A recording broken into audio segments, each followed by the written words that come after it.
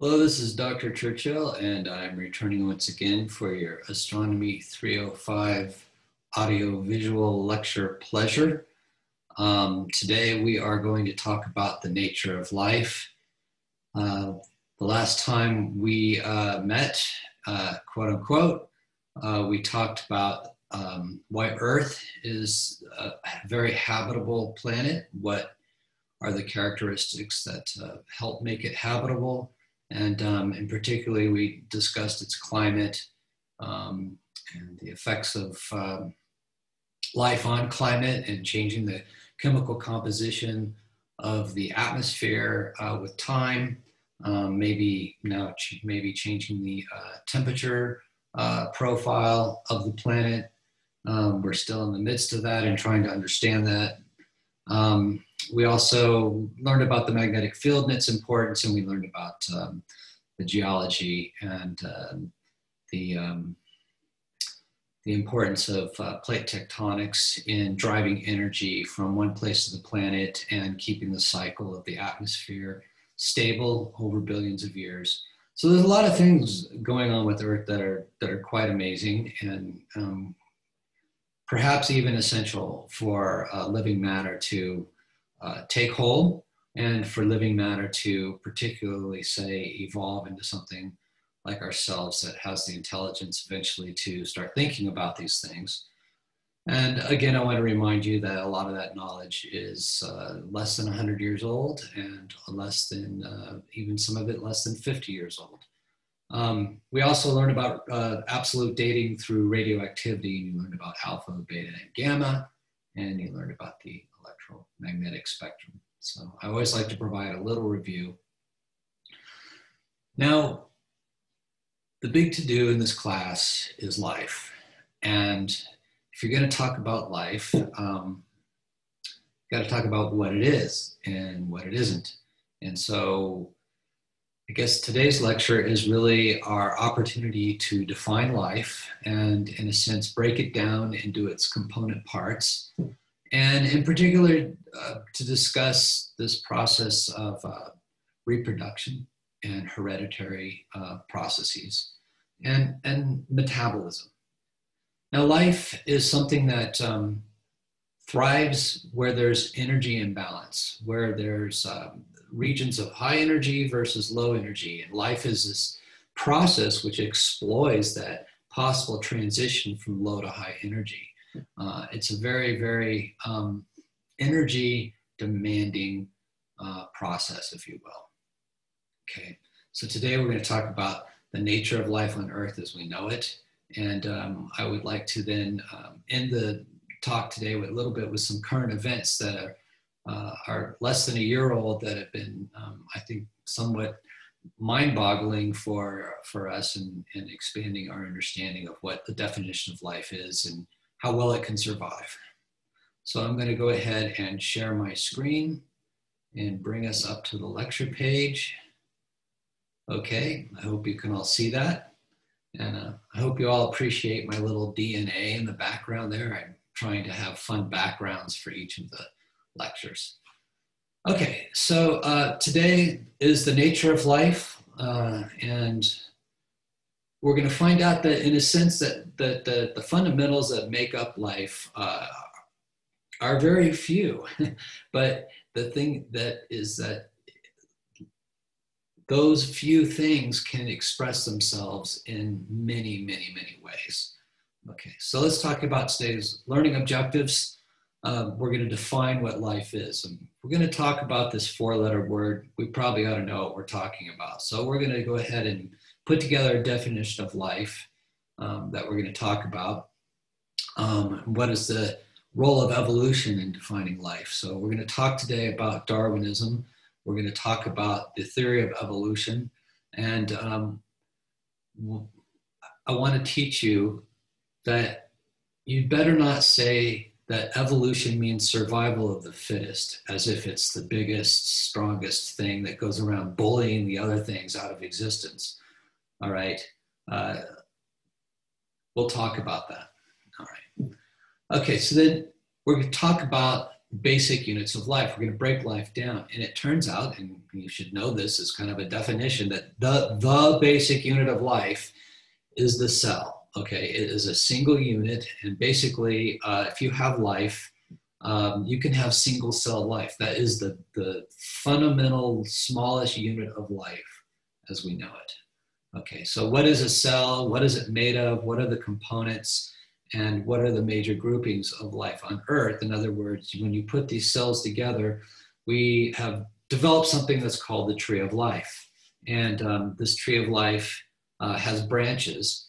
And so whenever you have a, a certain critter, uh, it fits somewhere on one of these branches. It's our way of organizing uh, or putting a filing system together for, for what life is. Um, okay, then we're going to talk about metabolism. As I said in the in the beginning, uh, life is very, very uh, um, much a, an opportunist of extracting energy and using energy.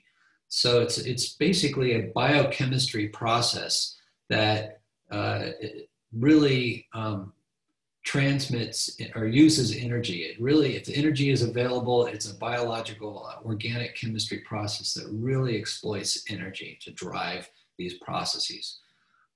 Um, and then, what are the um, uh, classifications of metabolism? And it turns out that there's there's four basic classes of metabolism. We're going to discuss those today. Then we're going to go back down to the uh, molecular level, the atomic level, if you will, and talk about uh, the hereditary material, which is DNA. We're going to talk about how you make a protein, um, how you how the DNA basically is a series of instructions that is designed to make the various components of your body that, that allow you to grow and allow you to age. Okay, and so how is that hereditary message uh, encoded in DNA? How are the instructions for making proteins, hair uh, cells, fingernail cells, et cetera, et cetera? And then um, how does life evolve? Well, we're, yeah, that's a little bit getting back into the Darwinism thing here. But for the, as far as the idea of life evolving, sometimes we think of abiogenesis, which is, you know, I've got some pool of organic goop, and how did that start to do, uh, how did that become life? That's called abiogenesis. Uh, we'll talk about that in the next chapter, okay? Um, life at the extremes, okay? Maybe you've heard of them, maybe you haven't. They're called extremophiles. Now, when you think of the biomass on the earth, which is the mass of all living organisms, and you add up all that mass, and you figure, okay, what, we call that the biomass, um, you might think that uh, the bugs and the birds and, and uh, the plant life and all these things that you can see are the major contribution to biomass, and that wouldn't be true. It turns out that over 90% of the biomass is actually microbial. Um, and it turns out that the high percentage of that um, bacterial biomass uh, live in conditions which would instantly kill you. Um, they live in what we consider extreme conditions. So really, if you might think about it, when you look at the distribution of conditions on which life exists on our planet, we're in the minority. We're really the extreme uh, conditions that we have a very narrow range of conditions we're allowed to live in, whereas there's this broader range of conditions which life can persist and live in. And um, to us, they seem extreme. Okay, high pressures, high temperatures, uh, super dark, super cold um, things like this. So we're going to talk about uh, extremophiles, and this is the area uh, at the end of the lecture where I'm going to talk about the fact that uh, some new life forms have been found, and a new tree on the branch of life that didn't exist. We've only discovered it recently. And then I'm going to talk about some uh, life forms that may actually be able to live on, on the moon or on places that you wouldn't think of life existing. Okay, so we're going to learn some basic definitions about life as we know it and some um, difficult to imagine life elsewhere not having uh, similar functions in this way. Now, why do we say that? We're studying life in the universe. We've studied a lot of physics, if you will. We've studied a lot of astronomy and cosmology at this point in time. And we're, we're basically saying that the, the Carl Sagan argument, there's nothing special about Earth. There's nothing special about the life on Earth. There's nothing special about it in terms of the chemical elements that form it, the molecules that form it, the chemistry processes which are driven through biological processes. All of that is absolutely not special. And so if you think about it, you want to just transplant uh, you know, the, the thought of that, those processes, they could be happening everywhere in those billions of billions of planets that exist uh, in our Milky Way and uh, the, gosh, billions, uh, hundreds of billions, times hundreds of billions of planets in the universe. Okay, so let's get down to our list.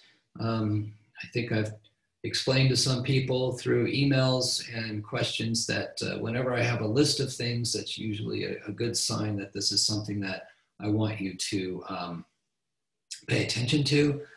I just realized I didn't bring my coffee. I might have to take a pause and go get that. Um, so, defining life. Um, we have six bullets here that describe life uh, order, reproduction, growth and development, energy utilization, which I've talked about a little bit, response to environment, and then evolution and adaptation. And this is uh, really an important component of life for its long term survival. Okay, so order. The universe is highly ordered. Life is also highly ordered. You have molecules that are organized into specific uh, groupings, patterns, and there's there's not really any randomness to this. It's it's highly ordered, and uh, we might even say that it's ordered to the point where uh, different parts are highly specialized as well. Reproduction. So basically, uh, life can duplicate itself. It is a um, highly uh, it's it's just driven to duplicate itself in a sense. It's it's very odd. But the thing about that is that the the um, the offspring of any life, or what lawyers like to call the issue, the, the issue of a parent, or I should say the, the sons or daughters of parents, uh, they have the genetic material uh, that the parents have. So that, that when they reproduce that that particular material is what's really passed. And so in a sense we're all conduits for passing this genetic material from one generation to the next. Okay. Uh, part of life is that it goes through growth and development. Okay. I think we, as humans know that we grow. Uh, we start out very small and we get larger. Okay. Um, we have situations where once we get to a certain point, uh, the chemical processes in us uh, change. It's called puberty. We have hormones, which are molecules that now are being reproduced at higher levels, and it changes us so that we actually develop and grow uh, to into a, um, a reproducible um, entity so that we can have offspring. Um, and the other thing is that um, the, the, the traits for that growth and development are programmed into our hereditary material. And so, you know, that's again something that also is passed through the uh, um, from one generation to the next. Uh, growth and development happens with uh, insects. You go from a pupal to a larvae stage to a full grown uh, adult insect. Uh, if you've ever watched uh, what happens with dragonflies, it's a tremendous transformation. We all know about pollywogs and frogs. So this kind of uh, property of life is very common. Caterpillars to, or worms to cocoons, and then to moths or butterflies. Energy utilization. This is where we're going to get into metabolism, and we're going to talk about particular something called the ADP ATP cycle, um, which is a um, process that happens uh, in your mitochondria, uh, which are components to your cells. Uh, if we don't talk about mitochondria in this lecture, I know we do in the next. And um, this is a, a process where you can take uh, the chemical energy stored in molecules and then uh, uh, transfer it to a storage uh, mechanism that, that your body can then apply to, or all life. And it turns out that all life uses this. And then the thing is, is like, what is the energy and what are the elements that are needed to uh, drive the ATP cycle? What we're going to find is that there's four of them, four types of metabolism. You can get energy from light or you can get energy from chemical elements. Okay. All right. Uh, there's other parts to it we'll get into. Response to environment. Okay, you walking through the forest, you step on a twig, some rabbit's ear goes bump, the blood flushes from their uh, other parts of their bodies into their ears, expands their ears, the heart rate goes, you release adrenaline, um, awareness peaks. This is response. Okay, so response to environment is um, a situation where if you have specialization, uh, within even a single cell, uh, a single cell can respond to its environment. And so um, this is an interesting thing about life. Um, being able to, something to respond to its environment does not define it as life, okay? But it's a, think of it as a, a biochemical process that uh, sets off other biochemical processes. That's what we call a response. And it just turns out that um, in a living thing, it can cause multiple biological responses, including release of adrenaline, which then adrenaline itself is a molecule that then causes things to happen like rapid, rapid heart rate, things like that. And finally, evolutionary adaptation. With evolutionary adaptation, um, this is what allows life to persist over long periods of time. Now, why is this important? Well, conditions change. For example, we've seen how the temperature on the earth has changed dramatically. And we even saw in the movie that when things were um, uh, in certain uh, conditions that say certain sea creatures thrived and other sea creatures didn't, and they died. And so life in itself is one of these things where it, uh, when the environment changes around you, it has to respond and adapt. And so clearly, um, if the environment changes such that uh, all humans can't take it anymore, then we're all going to uh, pass. And that would be the extinction of the human race. But on the other hand, there might be some humans that um, have small genetic differences that allow them to survive uh, these environments better. We're going to talk about one small adaptation called sickle cell anemia which is actually a mutation. And that's how evolutionary adaptation uh, actually is able to thrive. That we're not all identical. This is going to come into our idea of Darwinism and evolution. We're not all identical as individuals. And sometimes mutations happen, which are errors. And then the question is whether the people who have those errors in their genes uh, are in an environment where they can continue to survive or not. Or maybe they're in an environment where that mutation actually uh, allows them to survive at better rates than the other people who didn't have the mutation. And so you see, uh, you have both these populations going on, those with, those without the mutation, and then the environment could change, or you could be in a local region of environment that allows the people with what we consider to be the mutation to have better reproductive success. And therefore, um, life can adapt.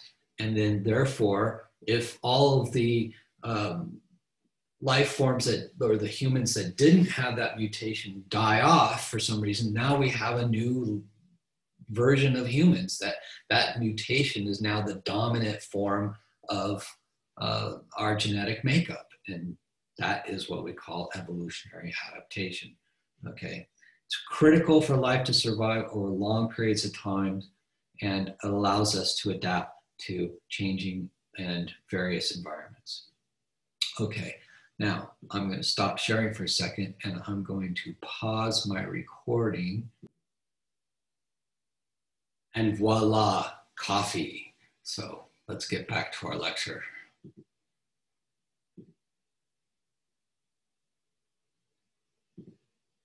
Okay, here we go.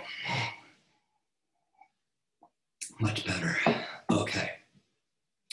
So let's talk about Darwinism. Let's talk about that hereditary process. Um, now I'm going to talk to you uh, about examples that are called microevolution. If you really want to learn about how dramatic uh, evolution can be over millions of years, then uh, there's plenty of YouTube videos that really describe this in great detail. There's uh, some old, um, an old series called Paleo World, which was fantastic, which talked about how wolves uh, had evolved into whales, okay, for example. And that is a spectacular, uh, scientifically well demonstrated um, lineage, if you will, of evolution, okay. Now, excuse me, um, what I'm going to do to illustrate evolution is talk to you about what are called microevolutionary events. Okay, so let's start with the premises and then go to the conclusion. Now, I'm going to take the advantage to discuss with you what is a, sal- a sound and what is a valid argument. Okay, now a valid why, why am I saying that? Because I think it's really important if you want to have any critical thinking skills at all that you, you really know how to parse an argument. When someone says, therefore, you really should have a light bulb go off in your head. Wait a minute, is this, is this a sound argument? Um, and then you can, uh, or I should actually say, is this a valid argument? When you say therefore, is it a valid argument? Then you can ask yourself if it's valid, whether it's sound. Okay, and I'll talk about that in a second. To have a valid argument, you need a, a minimum of at least two premises, and a premises is, is sort of a statement of fact, okay? And you need a minimum of two of them from which you are led through a conclusion, led to a conclusion that these two premises um, you cannot you cannot escape from them. I mean, they they the conclusion definitely has to follow. Okay. So if that condition holds, then that's what you call a valid argument. Now, if the two premises that you state are demonstrated to be true to the best of our ability, then we would say it's a sound argument. Okay, because you can make a valid argument if one of the premises is false then it's not what we call a sound argument. You know, it doesn't hold water. Okay. So what we want is a, uh, first of all, a, um, a valid argument that the premises uh, together lead to the conclusion. And then we, if the premises are true, we have a sound argument. So the theory of evolution is what we consider to be a valid and sound argument. Okay, so let's talk about the two premises that go into it. Uh, it, it, took Darwin a long time to formulate this, but we can put it together one slide for you. Uh, the first premise, number one, is that there is a struggle to survive on this planet, okay? And that you can have uh, overproduction and fill an ecological niche, okay? So we see this all the time everywhere you go. If you have a petri dish or whatever of some bacteria, it's going to fill and until the petri dish can't really hold it anymore. And now you've got pressure on that population. Okay, it happens in every environment um, if that environment's able to uh, sustain reproduction. So you get this struggle for survival, okay, amongst the individual members. This creates a population pressure okay, that, that basically individual members are, are vying against each other for the resources in that environment. Okay, so as it says, creates population pressure, struggle for survival among the individuals in the population. Now, let's talk about the individuals in the population. No two individuals in the population are identical okay, except for your statistical fluke of identical twins. So if no individuals are alike, no two individuals are alike, then that means that um, the way that they com- are able to compete in that environment is not the same. Okay, given the environment, individual one may have just a little bit more uh, adaptability, advantage, um, ease of survival than individual two. And so you have this uh, broad sp- spectrum of trait, individual traits in all of your individuals that are competing in a single environment for all those resources. Okay, so no two individuals are alike. And so we end up finding is that some traits are better, and I'm going to put that in quotes, under population pressure for a given environment. Now, the, the key is better is always relative to the environment, okay?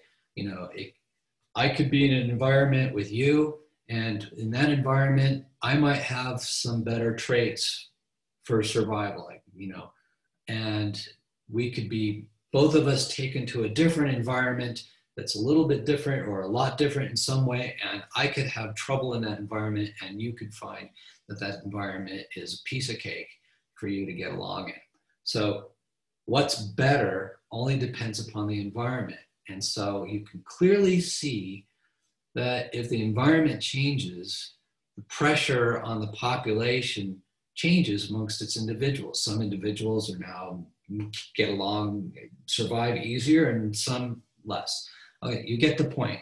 So number one, overproduction and struggle for survival in that environment. And then two, uh, each person is individual and therefore has their own unique way of interacting with the environment.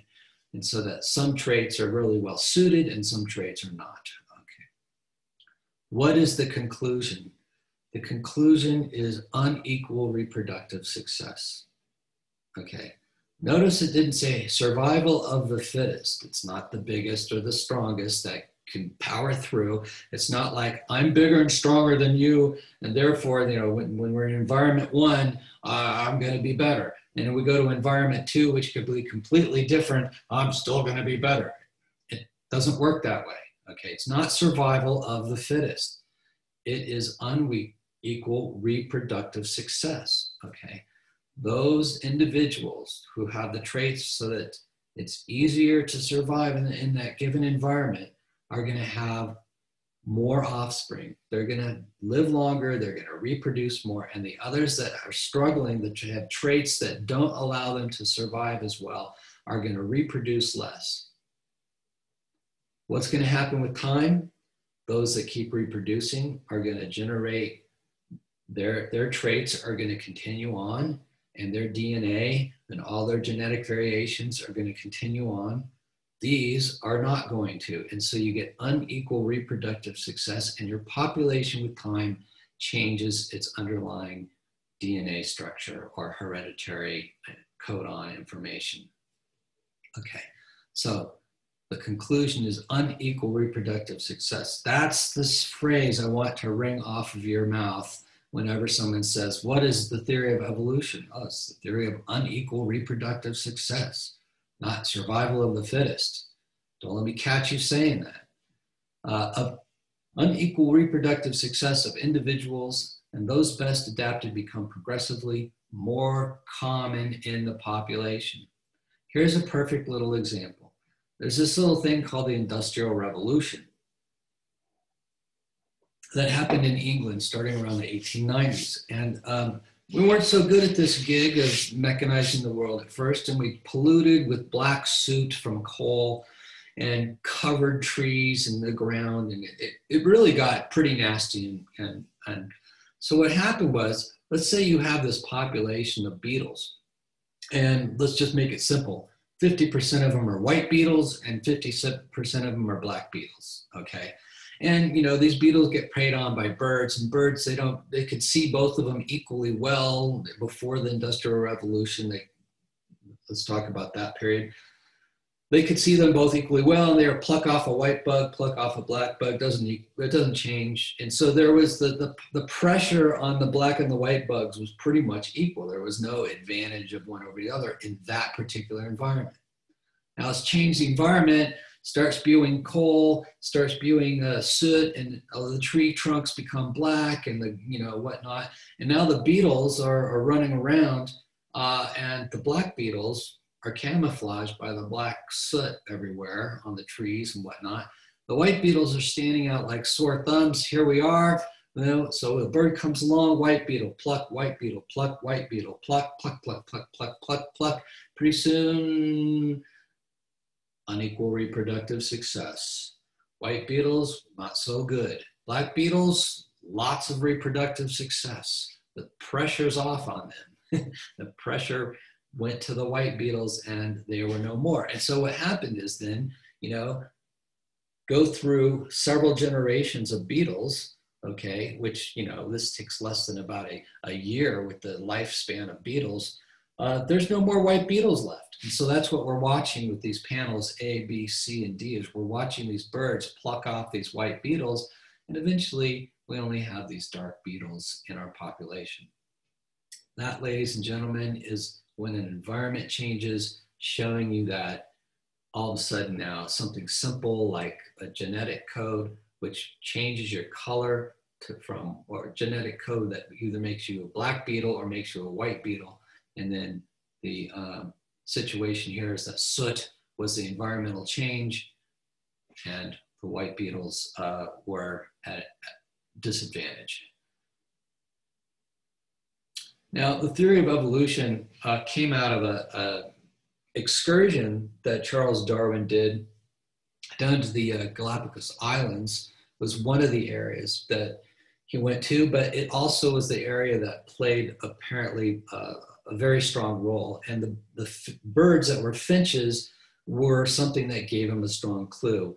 And it comes down to this uh, thought that we now call the common ancestor that developed from this line of reasoning.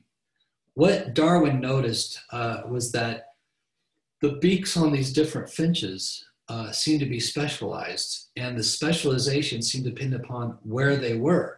Okay, there were some areas that he went to, like inland, and he would see that in fact these birds were uh, more insect eating birds and the insect eating birds tended to have longer, narrower uh, beaks. So it's easy to get in there and pluck them out. And they didn't have to have a lot of crushing force and they could get the beetle in there and or whatever they were eating. And then he would go, uh, you know, to uh, some of the islands that were more beachy and whatnot, and the insects weren't as popular there, but lots of seeds and nuts were popular there. And he would find out that their beaks were short and fat and had a lot more crushing power to them. They didn't have to, you know, reach into small places to grab an insect real quickly. And so this was very interesting to him that he saw that the, the way that they had, had uh, interacted with their environment, their environments were different the way they interacted with their environment was different and the way that their bodies were designed were in a way specialized to those environments. So i think you get the point from our bug story that with time that the birds that were in heavily seeded environments developed the, the short fat seed beaks because it turned out that if they had a very a, a variation that allowed them to eat seeds um, more successfully than the other birds who had longer beaks. In those environments, the there will be unequal reproductive success of the, the, the seed eating beaks. And vice versa in the environments where the bugs are very plentiful, but the seeds are not, it would be that there would be unequal reproductive success, that those with long beaks would, would dominate uh, reproduction and dominate the population over several more generations. Um, this is a process called natural selection. And this was really Darwin's greatest idea. And it was transformative. Again, it was in the mid 1800s, um, around the time of the Civil War, that he produced this material. And uh, it really it really was controversial and very much tra- changed our ideas about how life existed. And so it's a well established uh, theory, and it um, there are so far there is no evidence that we see on life that is contrary to the theory of evolution. In the same way that we saw that so far there is no observation that we've made of nature that is really contrary to the predictions of Einstein's general relativity, we see that there are no observations of our planet that are contrary to the theory of evolution. Okay, so let's get down to the nitty gritty. Um, last time we talked about radiometric dating, we talked about the atom, uh, protons and neutrons in a nucleus, electrons uh, swarming around the nucleus such that there was an equal number of electrons as there were protons in the nucleus, that the net electric charge was neutral. Hydrogen was one proton with one electron orbiting it. Carbon had a nucleus with six protons uh, in its nucleus and six electrons. And um, oxygen, I think, was eight protons with eight electrons. So clearly, uh, the way electronic bonds happen is through the electrons that are orbiting around the nucleus. So if I have a, a proton here with an electron orbiting around it and another proton here with an orbiting electron, they can come together and the electrons now can orbit both protons. Okay, and so you have two separate protons or two hydrogen nuclei, two and two electrons orbiting around it, and it, it, ends up holding the, the protons and the electrons together into a bond. We call that an H2 molecule, an H with a sub 2 behind it or below it. And this is the form, this is how chemical bonds are, are made. And you probably had some high school chemistry and know what I'm talking about and wish I wouldn't review such things sometimes. Now, carbon has six electrons orbiting around it, and you might think, wow, carbon could bond its one electron to all these different other elements. Like you, you would think one carbon might be able to bond with uh, six hydrogens. Well, it turns out that's not exactly how the electrons are structured for quantum mechanical reasons that I'm not going to go into, the way that atoms are structured not all of the electrons are always available for doing chemical bonds. The, the ones that are available have a special name, which you're not going to need to know, but they're called valence electrons. So it turns out that carbon has four valence electrons. So it can only uh, do up to four bonds at a time, even though it has six electrons. Now, it turns out that without going into great detail about all of this, that carbon is the most versatile element that is uh, an abundant element in terms of the chemical bonds that it can engage in. Okay, first of all, if you remember right, carbon, nitrogen, and oxygen, in addition to hydrogen um, and helium, are the most abundant elements in the universe. Hydrogen helium made 13.6, 13.7 billion years ago in the Big Bang, and carbon, nitrogen, oxygen can, built up through nuclear fusion in the cores of stars of previous generations of stars, then, and then polluting the uh, region of the galaxy from which our solar system and planet formed, and that carbon and nitrogen, oxygen are very abundant and, and integrated into our life. Uh, so Carbon, it turns out of those most abundant elements, um, has the most versatility for bonding. It can do up to four bonds, okay? It actually is so versatile, sometimes it can only, uh, it can just decide to bond with one uh, electron, and sometimes it can uh, decide to bond up, up to four different times with four different elements um, with one electron each, okay? Um, sometimes we're going to talk about the fact that it can do something called double bonds. Okay, so that means like uh, with oxygen, oxygen has two valence electrons, uh, carbon has four.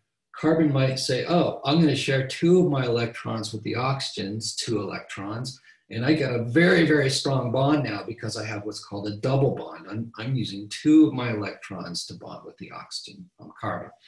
So carbon can do single bonds, which is to say one electron, or it can do double bonds, which is to say two electrons. This is a, a very, very versatile situation uh, as far as chemical bonds go for a given element. Also, I'd like to say that double bonds are stronger bonds, okay? So it can make bonds that are actually very hard to break. And this is, makes them stable. Stability is good for life. All right. So we're going to talk about these particular carbon chains or carbon molecules. And they're given a name, they're called organic molecules. And basically, organic molecules are those in which they are constructed of uh, carbon atoms or multiple carbon atoms in, in what we call chains. Okay. Okay. So uh, these are also known as hydrocarbons. If they only have hydrogen and carbon in them, they're called hydrocarbons. Uh, don't light a match to hydrocarbons. They love to burn, they, they oxidize. And uh, you might say that ethane and methane uh, are highly flammable gases. And ethane is actually 10% um, of most of your gasoline that you put in your car. Um, you'll see that at the pump. Contains 10% ethanol or something like that. Um, so here's, here's an ethanol uh, hydrocarbon, uh, two carbons with a single bond, and then the other three electrons uh, uh, each go to one hydrogen. So one hydrogen, one electron, one electron, one electron, one electron. These guys are sharing one electron each. These are sharing one electron each, and so you have these single bonds.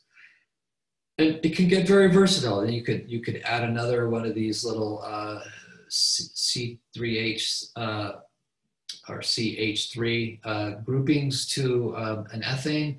And so instead of having a hydrogen here, you could put a, a carbon there, which can bond to three hydrogens. You could add infinitum, add more and more and more and more and more until you get, you know, 20, 30, 40, 50, 70,000 of these. No, I'm just joking. But you can get very large uh, chains of these carbon atoms with their, that are in these hydrocarbons.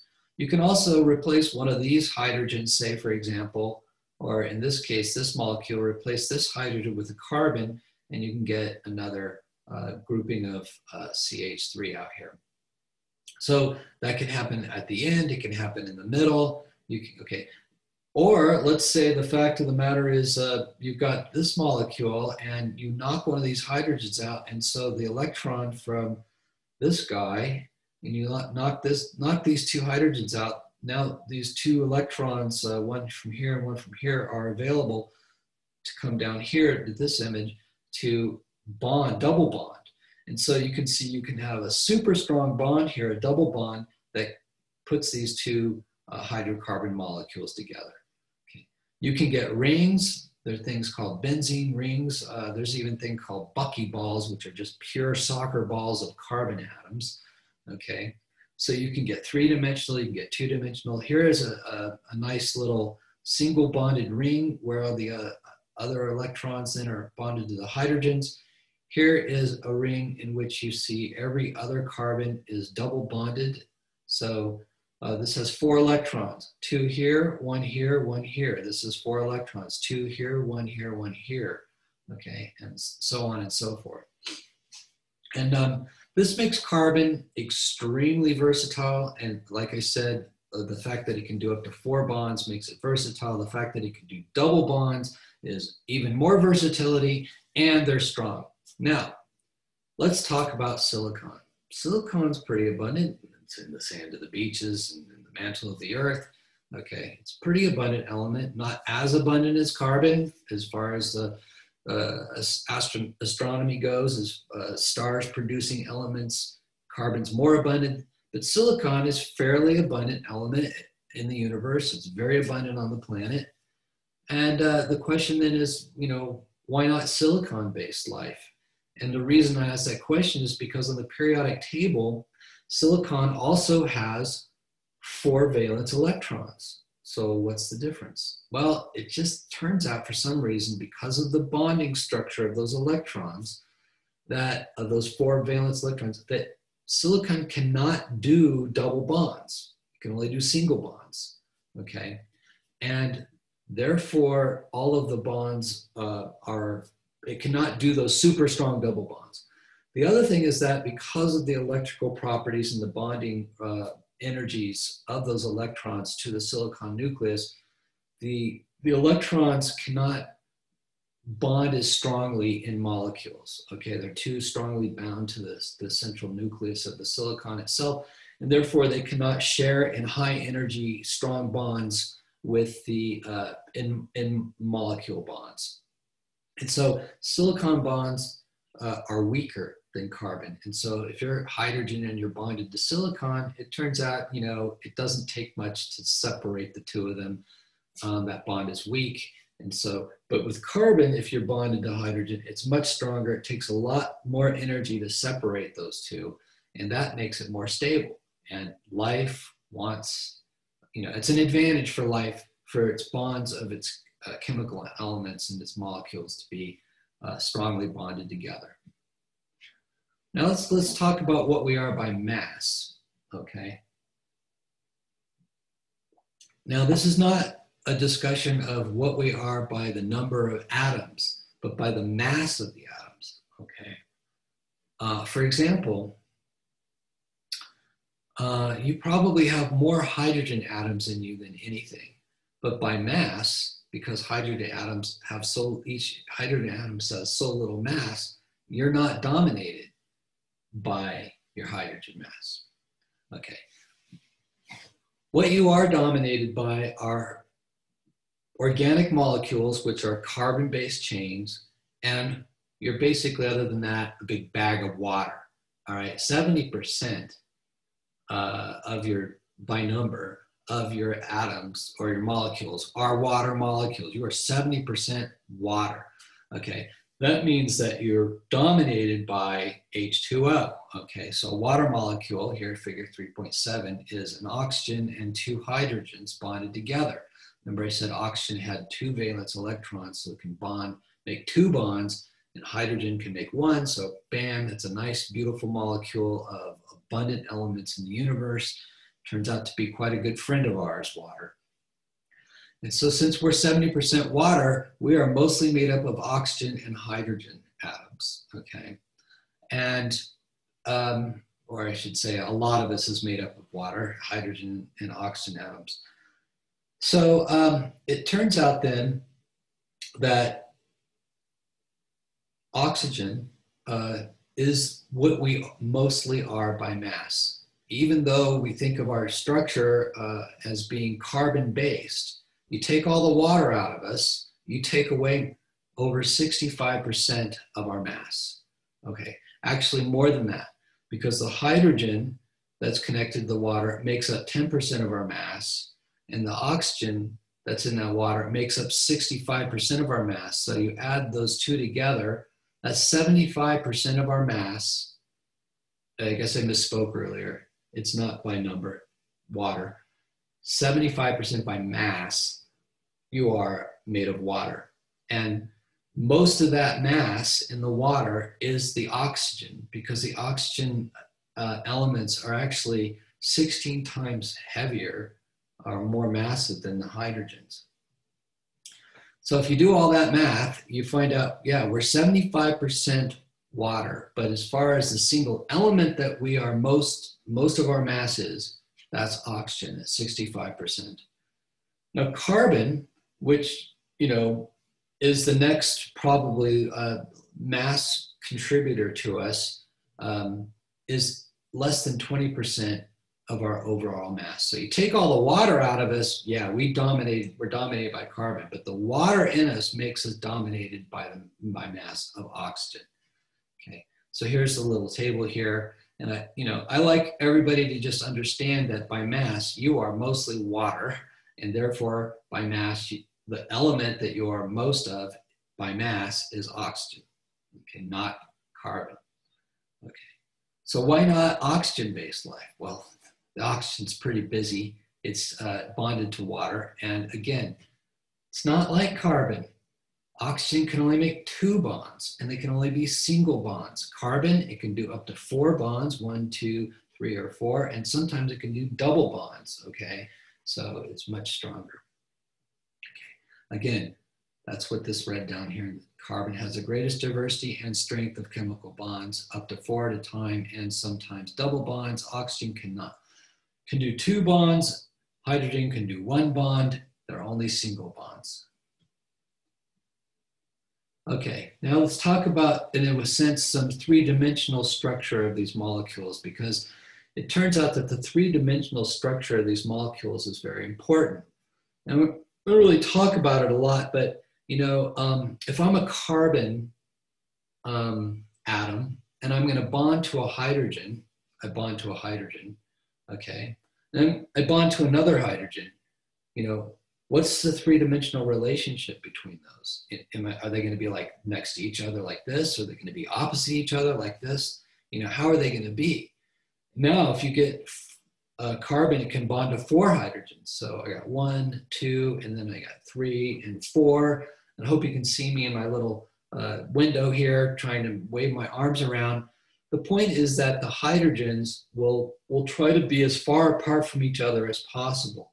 So you can think of it as a carbon in the middle, two hydrogens that way and two hydrogens that way. So it's, it's really a, a, a three-dimensional structure. Water, same thing. The hydrogens tend to be at about 120 degrees from each other. So there's a shape to all these molecules, especially these long chains of carbons where you got some oxygens, and hydrogens, and nitrogens, and things like that in there. It gets very complex and you get a shape, okay? So, okay, now, just like your hands, which have a shape, okay, try to do that. Um, this is a hand, but this is also a hand. And the situation is that one is a left hand and one is a right hand, and I know that's backwards on your screen relative to me, okay? And they're, they're mirror images of each other, okay? And so it turns out that molecules can be this way too. I've described some fairly symmetric molecules a moment ago, but you, they can be very asymmetric in their shape, but then they can uh, bond in such ways that there are mirror versions of the same molecules. And so we, we call this handedness, which is also sometimes called chirality.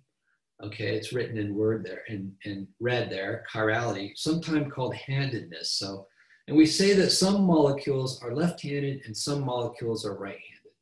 Okay, that's great. Now, it turns out that that's important because it's the shape and the electrical fields or the variations in the electrical fields around. So you might have molecules that uh, one side of them has more negative electric uh, field energy and the other side has more positive electric field energy.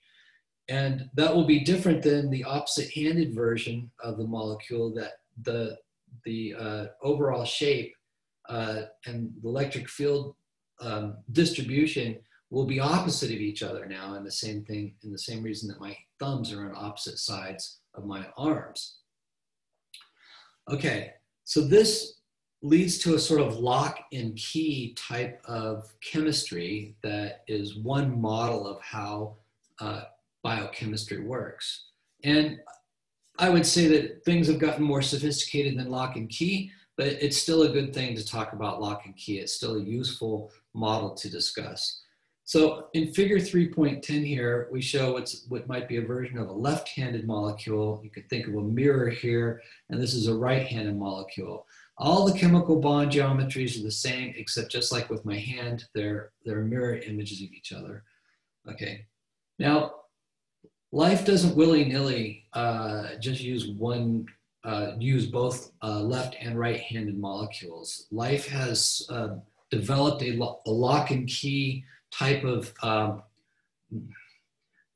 chemistry to facilitate biochemistry and that um, it has adapted all one-handedness and the handedness that it adapted is what we call left-handedness so you should think that all life is sinister which is the, the latin word for left okay um, so all all life is left-handed and that's going to be my magic word Sinister. I'm going to write that down because that's kind of a fun one. Sinister. Cool. I have to think of some, some cool words that uh, are red herrings, if you will. Ooh, red herring might be a good one too. Um, anyway, sinister, our, our magic word.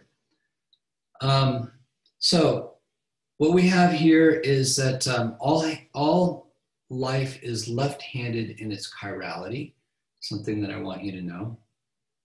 And this is uh, something that we've used uh, to help people not gain weight. Okay, so for example, uh, sugar.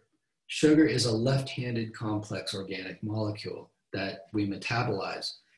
People got the idea that what if we generated sugar synthetically in the lab and separate all, all the left-handed sugar and sell that, okay? And then separate out the right-handed sugar and sell that. And why would that be an interesting thing to do? Well, it turns out it tastes the same, virtually the same, and but it doesn't metabolize because it's right-handed and our bodies only metabolize left-handed molecules okay? Now when we eat sugar cane sugar coming up from a cane is all left-handed and we metabolize it. So life is all in that way. Now you go out into space and you pull some rock off of a, a meteorite and you look at the organic molecules uh, that are in there uh, 50% will be right-handed and 50% will be left-handed. Nature tends to make them in equal uh, proportions, but life itself has adapted only one, and that is the left-handed. So I just want to bring that uh, bring that home to you. Now I said earlier at the beginning of the lecture that the basic unit of life is a cell. Let me say that again. The basic unit of life is the cell. Okay, the smallest living life form that you can have is a single cell. And um, that just might be a true false question on a test or a quiz or something like that, because I really think that's a, a fundamental thing about life that you should walk away knowing. Okay. Now, there are multiple kinds of cells and they have different functions. Okay. Uh, there are four basic cell types. They are bacteria cell types, amoeba cell types, plant cell types, and animal cell types. Okay, excuse me. Now, we are going to later uh, break down cells into something called prokaryotic cells and eukaryotic cells. Okay, and it turns out that some of these are prokaryotic cells. The bacteria and the amoeba are prokaryotic cells, but the plant cells and the animal cells are eukaryotic cells. But they're still they're still broken down. The, the prokaryotes are, are definitely bacteria and amoebas, and the eukaryotes are plant cells and animals. Now, don't worry about prokaryotic and eukaryotic until next lecture, I think, is when I talk about them. I think. Sometimes I can't remember all the details that are in my slides. Okay. Um, living matter resides inside the protective membrane, okay? So there's a, a, a, specialized structure that is the outer layer of a cell. It's kind of the boundary, if you will. We call this the membrane. And We're gonna find out that this is constructed of something called lipids, all right? Um, okay, and then there are structures that are, uh, that protect, that they are structures that protect the cell and the reproduction uh, reproductive molecules in the cell. Okay, some organisms are single cell, that's why it's the basic unit of life, and other complex organisms, organisms like ourselves can have trillions of cells that cooperatively work together. Okay. Um, now, we talked about Darwinism's uh, evolution, and we talked about the idea of a common ancestor that came from the idea of how the finches had developed okay, that maybe way past, way, way, way in the past, before those islands had separated geologic, geographically from each other or geologically separated, that all finches were roughly the same and they come from a, a, a um, um, common ancestor. Well, since cell is the basic form of life, the first life was probably single cell, and it's really believed that all life probably originated from some common ancestor that was a single cell organism. So that's why this is in red here that, that we can infer that and we can't prove it. We have uh, nothing that scientifically disproves that supposition at this point in time. Uh, I wouldn't call it a theory, it's, it's a hypothesis um, that all life originated from a single cell organism. Okay, now let's talk about those components of the cell, such as the membrane and the parts and things like that. Okay, and so those main the main components that make up a cell are actually the ones that you read about on the food you eat you know you look at the label it's got so much protein it's got so much fat and it's got so much carbohydrates okay um, those are basically the four groupings of molecules that form structures that give cells their ability to uh, have integrity structural integrity and then the fourth uh, one that you have are the nucleic acids. And these are the genetic material, the DNA, or the um, assistant to the DNA, which is called RNA, okay? And this is a, a kind of a messenger or a transfer molecule. Okay, I, I like to call it the DNA assistant or the assistant of the DNA. Okay, so carbohydrates uh, basically uh, provide energy and build structure. A lot of fiber, develop cell integrity. You have lipids. These are fats. Okay, so you know it says fat on your on your little label for your food. We technically call those lipids. Okay, so uh, uh fats are lipids. So number two is lipids. They store energy for future uh, use, and then they really are part of that uh, cell membrane as well for a lot of life. Some cell membranes uh, include uh, proteins, but um, mostly um, it's the lipids that form the, the cell boundaries. And then you have proteins. These are the workhorses of the cells. These are long carbon chains. They're built out of something called amino acids. And these are the things that actually go and do work around your body uh, and build things, uh, bond together to build things and uh, tear things down. Okay. Uh, and then, of course, the DNA, which is a hereditary material. If you uh, look at the bottom uh, diagram down here on the left, this is a perfect example of what a membrane to a cell looks like. Okay. Um, this, these are meant to be uh, diagrammatic of long carbon chains. You know, a bunch of those uh, carbons with hydrogens bond to them, as we saw in the previous diagram. And these are the more complex things uh, that, that can form rings, or they could be very complex shaped little molecules. But the point of the matter is, I, I, I was telling you that the molecules um, can have uh, an electrical distribution around them, sort of either they're, they're sort of a negative on this side and a positive on this side electrical distribution. We call that a polarity. Um, but you can have such long molecules that on one side, uh, you, you see a lot of electrical distribution, but on the other side, it might be that it's, it's kind of all blurred together and there's no polarity from one side of that little area of the molecule to the other side. And that's what they're trying to show here uh, with these yellow spots, um, that these are the areas that have some electric polarity. And these are the areas which don't have any electric polarity. And it turns out that water has an electric polarity to it. So if you have a big old organic molecule that has electric polarity over here, it will electrically become attracted or repelled from the water and become oriented in the water in a certain way. Whereas the long tail, which doesn't have any electric uh, polarity to it, will just stay away and hang away from water. This is the phenomenon, and I'll talk about it again, in, I think, in the next lecture, that allows oil to separate from water. Okay, oil has no polarity, and, and water has this polarity. And so without the polarity, the oil just separates out of the water. It doesn't give a stitch about the water. Well, you have organic molecules that are long, and one part of the organic molecule doesn't give a stitch about the water, and the other one does. And so the, the molecules line up in the water, and they'll line up next to each other. Okay.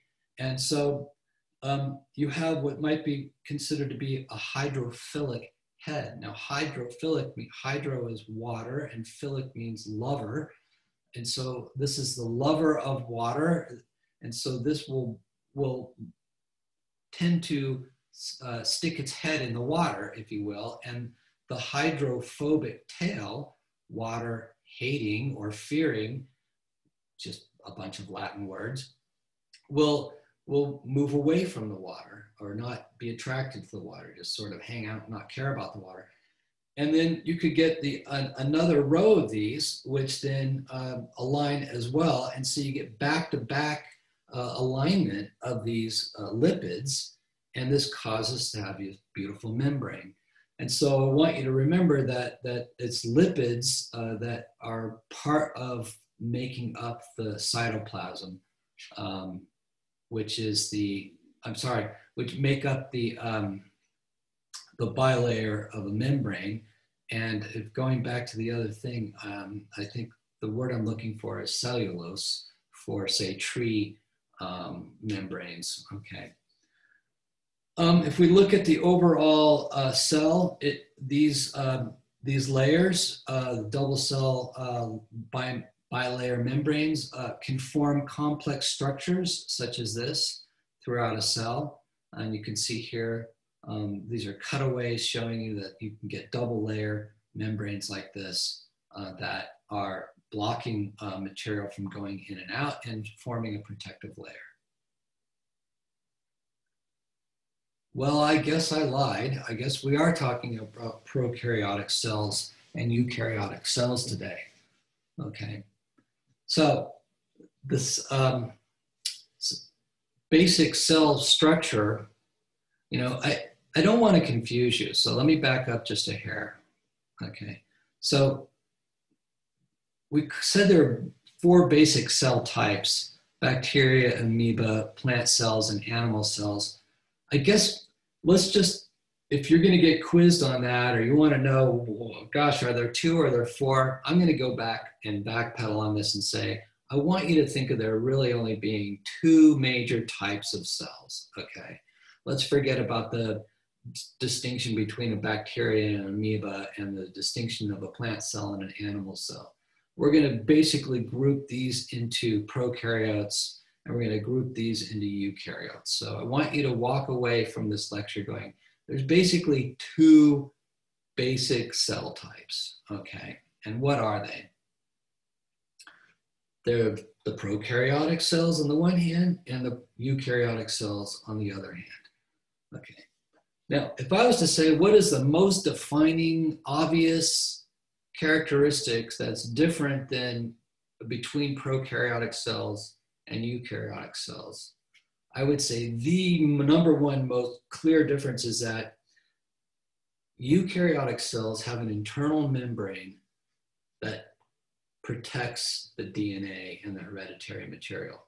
So this picture here that I'm circling is a eukaryotic cell, and you can see it has very a protective layer of membranes and a lot of layers of these bilayer membranes, but it has this other nuclear membrane which is protecting all of the DNA and hereditary material. The, U, the, that's a characteristic of eukaryotic cells.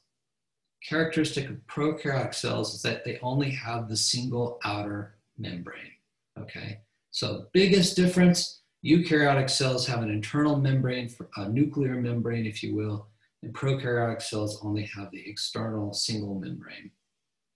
What's the second biggest difference? The second biggest difference is that eukaryotic cells contain organelles. Organelles are small, little, separate cells in their own right, okay? Um, and in fact, you have um, little cells inside your, in your eukaryotic cells, you have other little organelles. These organelles themselves, guess what, are prokaryotic cells, okay? So they're, they're of their own little cells that live inside of the eukaryotic cells. It's a symbiotic relationship, and it's one that's going to give us some tremendous clues in the next chapter to help us understand the development of complex life on planet Earth. So Prokaryotic cells do not have organelles. I mean, it, basically, it's a prokaryotic cell. It's all by itself, and it has a single outer membrane. Eukaryotic cells, they also, in addition to their internal nuclear membrane, that's a double protection for the DNA, they have organelles, which are to say that they have a symbiotic relationship with embedded prokaryotic cells. So those are the two main differences. But there's some other differences too that you can put into some lists. So I have uh, the most common uh, cells by number are prokaryotic cells. There's more simpler things in the world than there are complex things. So these are the most common cells on the planet. They're simple. There are, they are single-celled uh, life forms that are prokaryotic life forms. They're much smaller, as you can tell from this picture. A prokaryotic cell is much smaller than a eukaryotic cell. They, again, have no nucleus, no nuclear membrane, and therefore no nucleus. Um, they form on the tree of life uh, bacteria and something called archaea, which are just a little bit more complex than bacteria, if you will. Um, and so um, examples of prokaryotic cells are E. coli and Salmonella. Also, uh, your mitochondria are prokaryotic cells, or in trees and uh, photosynthetic eukaryotic cells, uh, the organelles are chloroplasts. And so these, so anyway, uh, some of these uh, prokaryotes are E. coli and Salmonella, which you know are not good for your gut.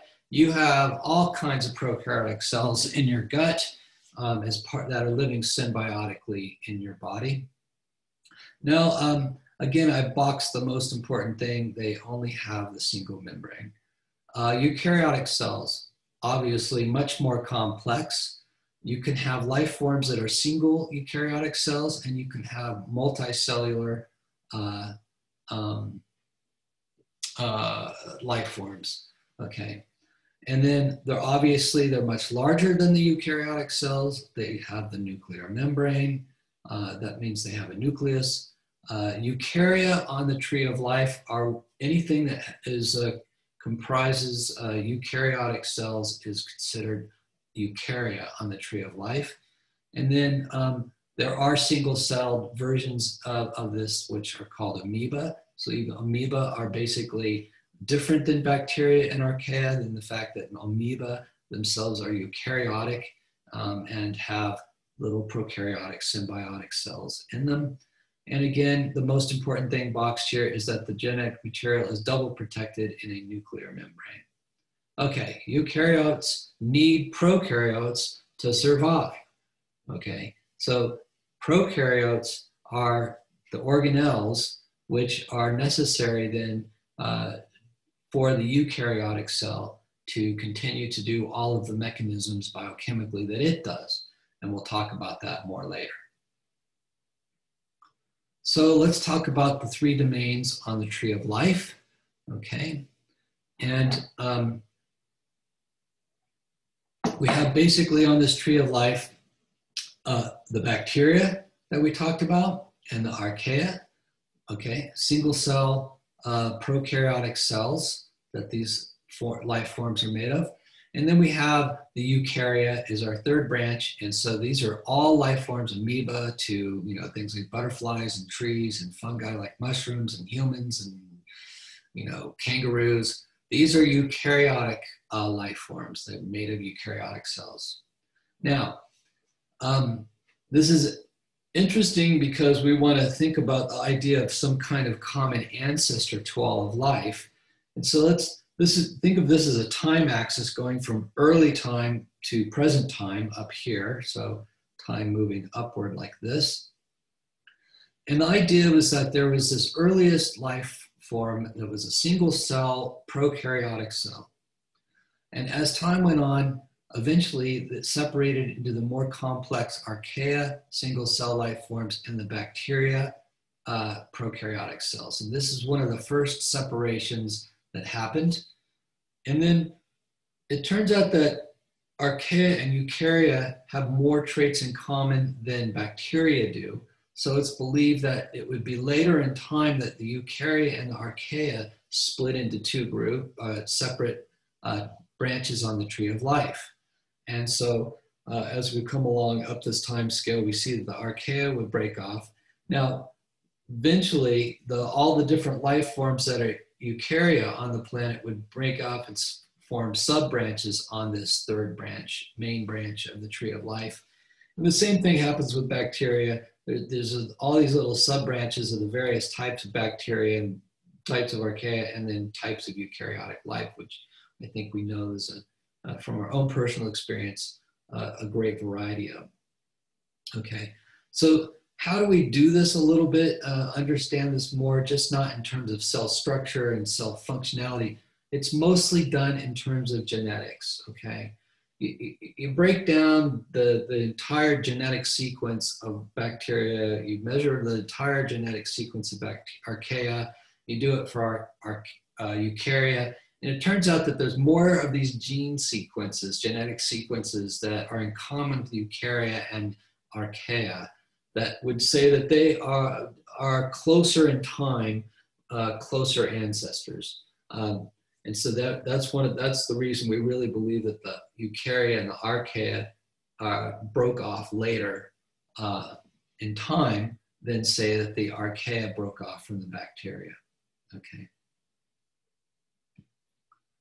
Okay, so now we've talked about cell types and cell structures and carbon bonds and all this fun stuff. We know that life is made up of a lot of organic carbon-based molecules. Okay, and so carbon is clearly an important elemental ingredient for life to survive. So we need to have carbon. Carbon, bring on the carbon. Bring, I have to digest carbon. I have to continue to uh, replenish the carbon I have. Um, the other thing is I need energy, okay? And so the two processes that we care about that keep life sustained um, are going to be the ingestion of material to continue to build life and the ingestion, if you will, of energy, which could be chemical or uh, heat or other some forms of energy uh, to keep life going. So we basically need uh, raw materials and we need energy. And that's what metabolism is. Metabolism is, metabolism is the processing of the materials and the energy to sustain the biochemistry that is my, what keeps me alive, okay? The, the biochemistry of life. So what are the basic metabolic needs? Number one, raw materials. Okay, you gotta build the cell walls, you need a lot of carbon to the, the basis of all those molecules that make up the lipids and the proteins and, and whatnot, and the carbohydrates. And then you need the source of energy in order to make all that chemistry happen. So you can take that carbon and the, those other things and put them in a form that you want and move them to where you need them to be to do the chemistry you need to have happen so that you can survive. Okay. All right. So there's two types of, of, of, energy, if you will, and there's two types of ways to get your carbon, which is what we're going to focus on the most as a, a need. And so that gives us four types of metabolism. We have two different ways to get energy. We have two different ways to get our carbon. That's four, when you combine them all, that's four possibilities. Okay, so let's talk about this. When it comes to energy, let's look at this bottom little thing I'm circling here. There are two ways to get energy. There's energy from light, basically the sun. We call that photo, okay? So photo is in photon, light energy, okay? That's basically getting your energy from sunlight. And then the other one is from the chemicals themselves that you ingest. You ingest some organic molecules, has carbon atoms in it. So you get your carbon through chemicals. So we call, uh, we get the energy. I, am so sorry. I'm not talking about the carbon yet. I'm talking about the energy. Let me back up. Blah, blah, blah, okay. You can get your energy through light. That's photo. Or you can get your energy through chemical energy, which is from the chemical bonds of these complex organic molecules that you eat. Then you break those chemical bonds down and release energy. So there's two ways to energy, light and chemical. Okay, we call the light energy photo, we call the chemical energy chemo. Okay, now there's now let's talk about the ways you get your carbon atoms. Okay, there's two ways. One, you just get it through carbon dioxide only. Okay, so you only extracting carbon from carbon dioxide atoms. We call this auto carbon dioxide only. We call that an auto process. And then, or you can get the carbon by breaking down a lot of these complex organic molecules that have carbon in them. Okay, and so we call that hetero. Okay, so organic compounds for your carbon, hetero. One last quick review. Two ways to get energy, sunlight photo or chemical energy, chemo. Two ways to get your carbon, carbon dioxide only, auto, organic compounds of any type, hetero. So that gets us into four metabolic classifications. We have your photoautotroph, light energy, carbon dioxide for carbon. We have your chemo autotroph. So auto is the same here, but we changed our energy source. Chemical energy for energy, auto carbon from carbon dioxide only. We have your photoheterotroph, light energy and chemical elements or organic molecules for carbon. And we have your chemo heterotroph, which is to say now we've switched the energy again so chemical energy and then organic molecules, chemical energy and organic molecules for carbon. Okay, so that's what this table is showing you. The photoautotroph, sunlight energy, carbon dioxide for your carbon source, chemoautotroph, okay, chem- organic molecules, whatever for your energy source, auto, carbon dioxide for your carbon source. Photoheterotroph, photo, light energy, hetero organic compounds for your carbon source, and then chemo heterotroph, chemo organic compounds for your energy source, and then hetero organic compounds for your carbon source. You and I are chemoheterotrophs. Okay, we don't get our energy from the sunlight. We get it from eating and digesting organic molecules. And our uh, carbon source also comes from those organic molecules. So we are chemoheterotrophs, you and me, okay? Animals, okay? Um, okay, so what's an example of a photoautotroph? Well, plants and trees, okay? They sit out there, they collect sunlight, and they get their energy from the sunlight, okay? They respirate carbon dioxide from the atmosphere, and that's how they get their carbon, and then they're able to grow. So a plant uses photosynthetic uh, um, processes. Okay. Um, now, uh, a lot of uh, bacteria, say cyanobacteria, uh, that and algae, for example, are photoautotrophs as well.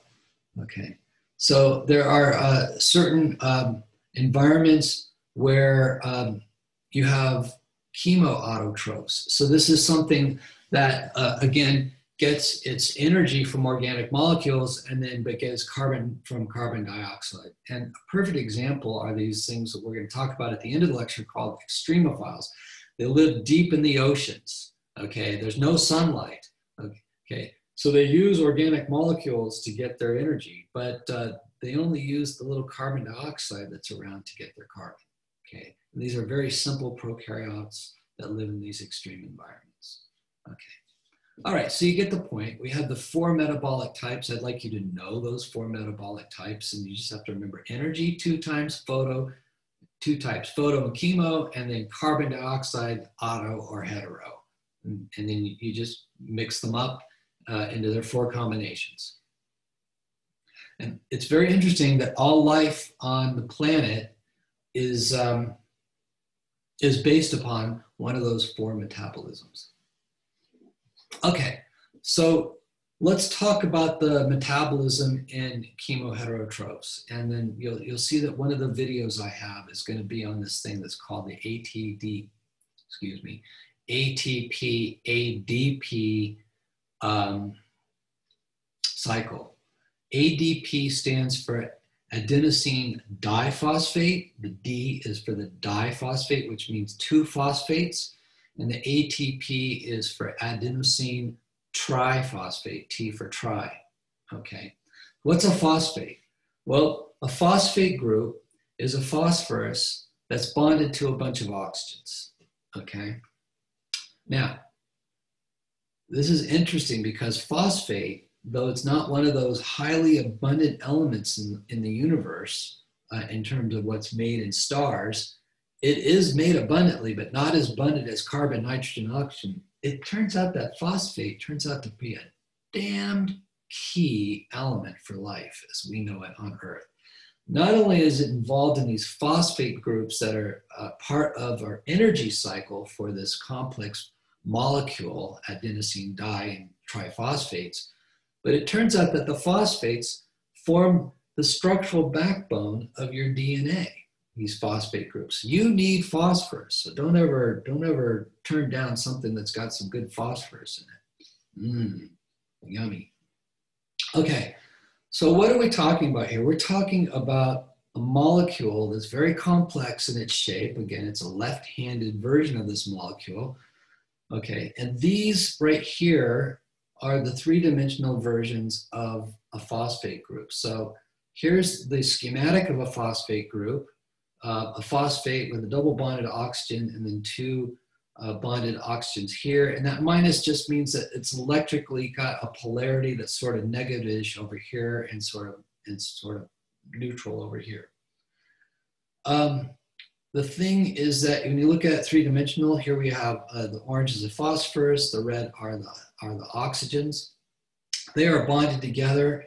There's three of them when you have triphosphate, or if you knock this one off, you get this full molecule, which just has the two phosphates called diphosphate. So if you knock that one off, you've got diphosphate. Uh, this is the uh, adenosine part of the molecule. It serves as the anchor of the triphosphate group or the diphosphate group. And these bonds here between the phosphate groupings are highly energetic. They contain a lot of energy. And it turns out that by, by breaking them, you can then release that energy into the cell. And so, in short, the ADP ATP cycle is basically putting a phosphate group onto diphosphate, making it triphosphate, and then breaking the phosphate off the triphosphate and leaving you with diphosphate energy in, energy out, energy in, energy out. And so that's what our next slide is going to talk about. And I, the bottom is a screen grab from the video uh, that I've given the URL to here. So uh, lest I be uh, considered to be copying and plagiarizing, I wanted to make sure I give my reference as to where I got this slide. Uh, the rest of the images mostly all come from um, the book. Um, so it's interesting. I, I, make this joke about food. Uh, food is such a weird word if you think about it, but energy is food. Food is energy. Um, so energy uh, from food is used to bond the phosphate groups uh, to ADP to form the ATP. And then energy is released into the cell when the ATP splits into ADP and a phosphate uh, group that goes free. This is the diagram in the book. I think this diagram stinks. I don't think it really lets you understand anything about what's going on. You know, what's going in here, what, wait, this arrow goes this way, and then there's the, what happens from here to here, this energy comes out. Okay, all right. I think, I think this diagram here is a little bit better, and so I'm gonna go through it. Again, this movie is very short, and the guy does a spectacular job of discussing it.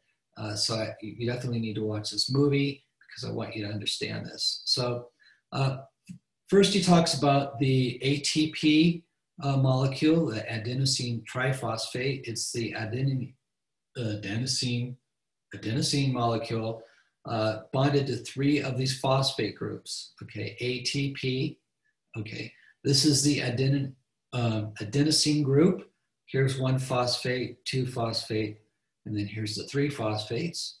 Okay, it turns out that if you then mix this with water, which you have plenty of in your um, body, that it will uh, allow the breaking of one of these phosphate bonds in the triphosphate group. So what you end up getting when you add some water to this is that the you get an adenosine diphosphate group and a separated off phosphate that goes into your into your body okay? And in addition what happens then is you release energy in this process. So when you break that bond you release energy into your cell and that energy then gets used to drive your biochemistry and your metabolism. This phosphate eventually uh, what it has done to uh, get, get broken off here is that it has stolen an H and an O out of the H2O and bonded with it. So that's how the, the water steals the phosphate group, is that the phosphate uh, steals the OH from the water, and then you have a free proton in your in your body um, that then eventually gets involved in some other chemistry and bonds with other molecules. But this process releases energy and it uses the water molecule to catalyze this process. In other words, to drive it. So when this bond gets broken between the diphosphate, uh, when you turn a triphosphate, at adenosine triphosphate into an adenosine diphosphate with just the two, you're breaking this bond and it's releasing energy into the um, environments. And then basically this adenosine phosphate will eventually bond with a, with a, a phosphate group, stealing it from one of these molecules, um, and the process then can cycle through. Okay, so that's the ATP ADP cycle. Okay, now we're going to get into the biology of your DNA. Now, I think everybody has seen DNA. They've probably heard it's a double helix molecule. And uh, so I would say that the general idea of what DNA is, is well known to most people or everybody, uh, but let's just go through uh, dissecting it down a little bit more. Some of this review, maybe you'll learn a thing or two in the process, but what I want to say to you is, ladies and gentlemen, what we're talking about here is a miracle of the universe, okay? We can dissect this intellectually, but to really fathom this, to really embrace it, you have to understand, you don't have to understand. By trying to understand it, don't forget the absolute amazing miracle that this molecule is. And I'm going to show some videos that are just going to show show you, I think, maybe for the first time, that the way that we understand this biochemistry, that these molecules are almost like small little cognizant living creatures, that they know where to go, they know what to do when they get there, and they participate in a process uh, in the same way that individual ants live in a colony or individual bees live in a colony. And that's the thing that is so mind boggling and such a miracle of this process. You know, at what point does consciousness end and what point does consciousness begin? But it almost seems as if these little molecules have a purpose, just like individual ants in a colony have a purpose. They fit into a whole, but they're individuals. They certainly have some kind of awareness of their surroundings. When does it's just phenomenal. So when you watch this one movie that talks about it, it's from a YouTube Veritas. Um, uh, anyway, I linked to it. I can't remember which number movie it is, but uh, it's it's it's astonishing, and it's a movie that talks about how your cells uh, split and how your DNA line up and, and know when to split. It's fantastic. Okay. Um, so DNA is your molecule of hereditary information. What I want you to think of DNA is, is basically a storehouse of words, a storehouse of letters that make words. And these words then can be put together in ways to create you know, a work of informa- uh, a total concept of information. And it's silly, but you know, you could think of each of these little um, codons that are that are uh, aligned in your DNA molecules uh, as, as say letters, and then the groupings of them form something called a gene, and those are like words. And then the words combine together, and they can make you know stories. They can make um, an expression of something much larger uh, than their individual components. And provide in the same way that letters can be put together to make words and words can be put together to make meaning abstract meaning that we we understand uh, the, the same thing happens with the letters and the words or the genes in dna can form things that have very very different outcomes and um, in the sense not meanings but certainly expressions uh, of of the, you know, a, a, a, dragonfly is a very different expression than say a human, okay? Okay, coming back to the slide.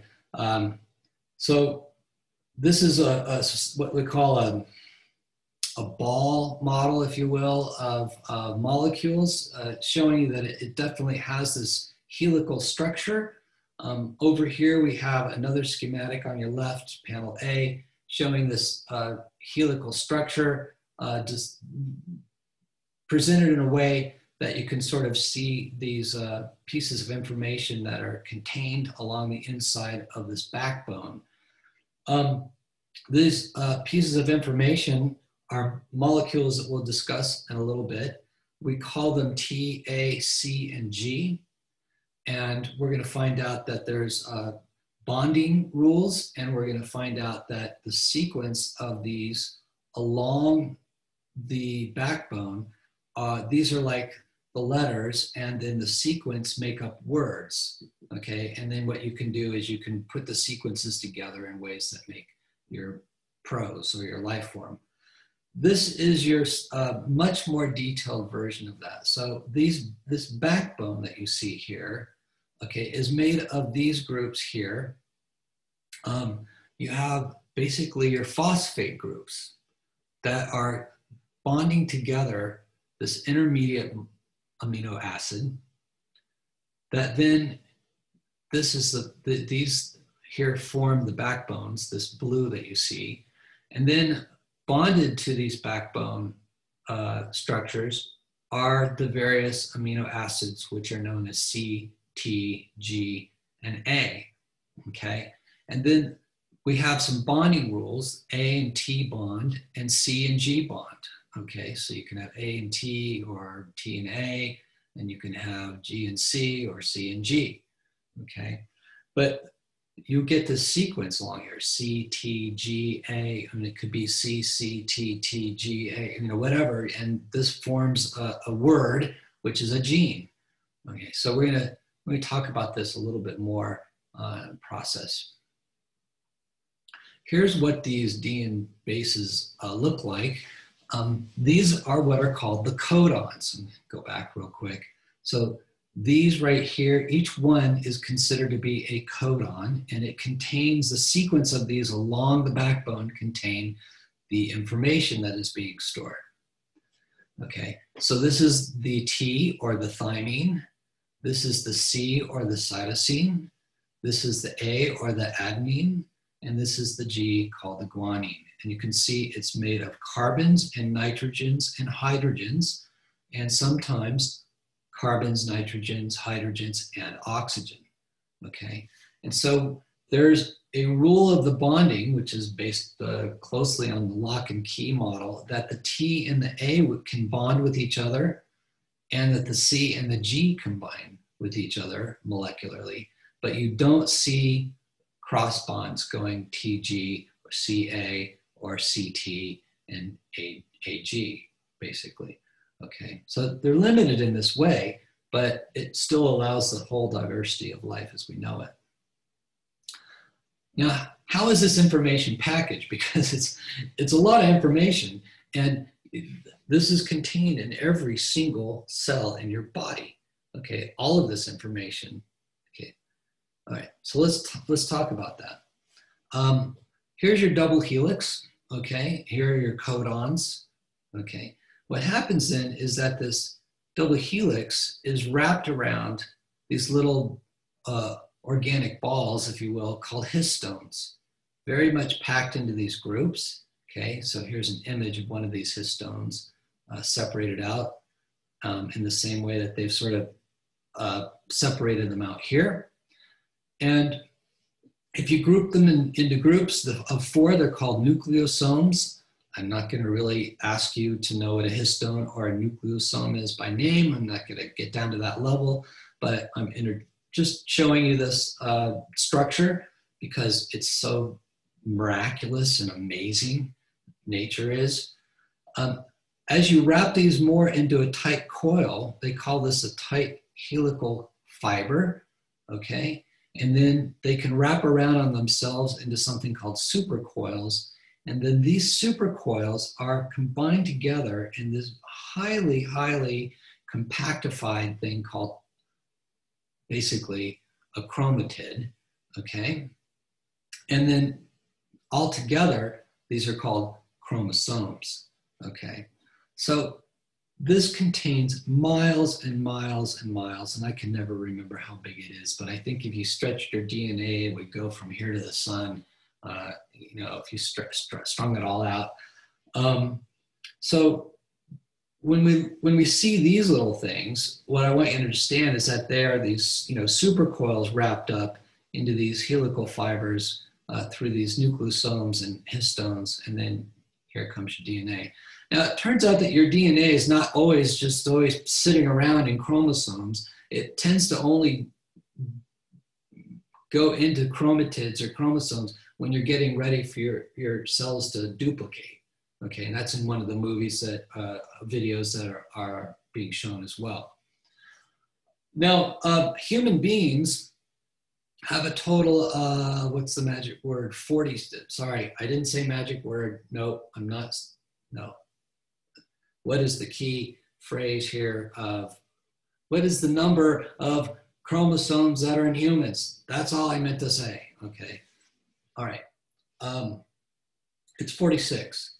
Okay. Turns out that um, a uh, an egg has 23 of these and the sperm has 23 of these and they come together to make the 46. All right. Um, now, not all life has the same number of chromosomes. Okay, for example, dogs have 78 chromosomes. Okay, a lot, lot, lot of uh, separation of their packaging, if you will, more so than humans do. Uh, a pufferfish has 42, a cat has 38, sunflowers 34, and maybe a pea plant 14. So you can see that life has different strategies that have allowed it to be adaptive and well refined for the environments that they live in. And somehow this is clearly an advantage for pea plants to only have 14, and it's an advantage for dogs to have 76 in terms of the way that they evolve through time and the unequal reproductive success of the various things that became dogs. Okay, so humans have 46 of these chromosomes, and then uh, this is sort of an image of what they look like when they're in, in their packaged into their individual chromatids. Now, um, or, or, chromosomes. Um, this is a nice little diagram showing you again the DNA uh, packed into a chromosome like this, and then that that is located in the nuclear region of your cell, which is uh, inside the nucleus, uh, the nucleus itself uh, inside your eukaryotic cell. And here are your organelles that might be uh, part of your eukaryotic cell. So this is how DNA is packaged. It's highly efficient and that you have these full 46 chromosomes in the nuclear region of every single cell in your body. Okay. Quick review of what I've been saying in maybe a more graphical form. I want to define two words for you that I do want you to know. One is gene and the other is genome. And it's kind of disappointing. Sorry that this is these are both ones. Um, it's kind of disappointing to me how often people miss my question about what a gene is versus what a genome is or what a DNA molecule is. You know, I, I, um, I have sort of a matching problem that I tend to give. And a lot of people really confuse what a gene is. So I really want to make a point on what a gene is. Um, okay, it's a sequence of base pairs that hold a structural code, one instructional code to do something. How to build a protein molecule, how to make a fingernail, uh, you know, protein. Okay, um, so if you think about it, you know your codons are those amino acids, the A, the C, and the T, and the G. And here's your DNA double helix. Here are your codons. And a group of these in order form a gene.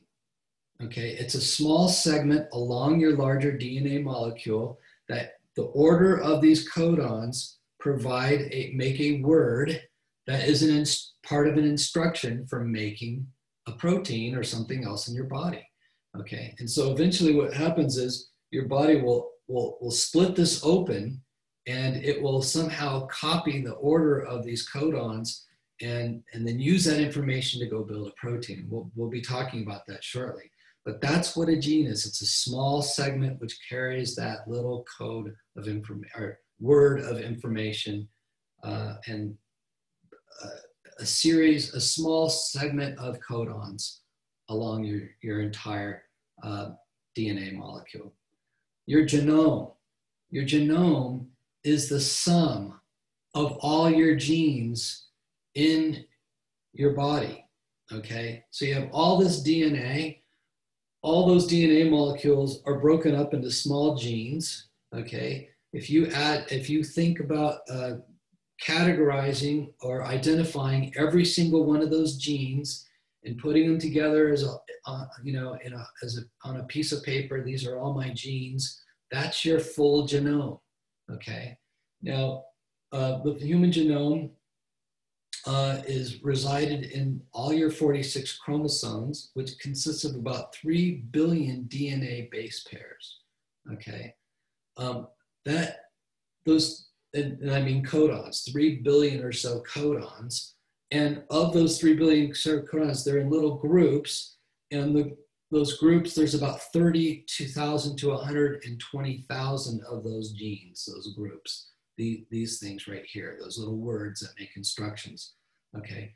Um, it was only 10 years ago that the Human Genome Project uh, was working on this and trying to build a full um, uh, census of our genome, of the human genome. And ladies and gentlemen, they have succeeded at doing that now. And so the human genome has been completely charted, okay? Um, and that's just really ex exciting news if you think about it. Um, what do I have in the box here? Different cell types such as muscle cells or brain cells differ because they express or actually use different portions of your full genome. Okay, so you know, brain cells uh, are built out uh, when you want to build new parts to brain cells. You're using, say, certain genes along your uh, in your genome and when you want to build a, a hair follicle, uh, you use different genes. And when you want to build a fingernail molecule or cell, then you use different genes. So all that information is always is contained in every single one of your cells, but they know which parts to go look at to reproduce themselves. Don't ask me how. Okay, so DNA replication there's two things that the DNA are used for. Um, the main one, of course, is that they um, are the instructions on how to keep building new parts of yourselves. Okay, so um, the other one is that they have to learn how to completely and totally reproduce one set to a whole nother set so that your cells can then divide and you can grow and, and uh, increase the number of cells that you have or, or allow some cells to die and, and form new cells. So this is the, in this box is that process in a sense, you can see that you basically have a mechanism for splitting open their DNA. So it has to come out of the chromosome, come out of the nucleotides and the nucleosomes and all that stuff. And then it gets uh, opened up and it, it, gets split open. And then there's ways of uh, building the insides of it. So you can see that the C is bonding to the G and the T to the A and whatnot, and you get mirror uh, versions of each of these. So uh, this strand here, okay, that, that came along. This strand here is building a copy of the other strand. And this strand here is building a copy of, the, of its other strand. And so in the end, you get two new versions of your DNA molecule. It's called the daughters. And this is how DNA duplicates itself in principle. There's a lot of details going on in here, ladies and gentlemen. Okay. The other thing is that uh, you can um, use the little genes to um, as words that you put together to uh, make instructions to build things like protein molecules and things that you need in your body or white blood cells that you can, uh, the, the parts of the blood white cells that you need to fight immunity or have for your immunity. Uh, so cells need to duplicate as part of life. That's the duplication of the DNA. But also they must um, uh, create things like proteins. So in, in this sense, uh, here's an example of these amino acid codons that uh, have been constructed and float freely um, in your cells and your, your uh, double helix splits open you have your codons in order here, T, A, C, G, T, C, G, whatever, and this makes up the, the information, the word, uh, the instructions. Now, um, when you're building proteins, it turns out that um, the first thing your gene does is it builds a messenger uh, strand. Uh, it's called RNA or messenger RNA. And you'll notice that the RNA gets built up this way and then the RNA is going to leave the cell. Uh, sorry, it's going to leave the membrane and go out into the cell and make a protein. So um, this is a good movie that talks about this, and it's also linked to as one of the movies in the slide set. This is called transcription. Okay, so this process here is called transcription. It happens in the nucleus where the DNA is. Okay, and then it forms a an RNA molecule, which is a single strand that contains now the codon information along it. Okay. And then translation occurs, which uh, is shown in another movie, which is another spectacular uh, situation where basically, you know, little molecules are put together. Uh, they're carried over by little molecules to a place where there's a factory, which then inserts them along the RNA molecule, and then it separates out and makes a protein it's it's an amazing movie. You, have got to watch this little uh, movie. Um, so the um, situation is that the, the DNA opens up, it transcribes to make an RNA molecule, which then again is uh, used as a little instructional sheet by a factory which puts together the protein. Okay. So what's the difference between DNA and RNA? Uh, well, obviously, the first one is that DNA is a double helix when it's uh, bonded together. Um, and RNA is only a single uh, backbone of that, but contains the complementary code of one of the sides of the DNA strand. Okay, uh, whereas the um, codons in DNA are adenine, guanine, cytosine, and thymine. And we know that T bonds to A and G to C and C to G and A to T, as we, we can see here.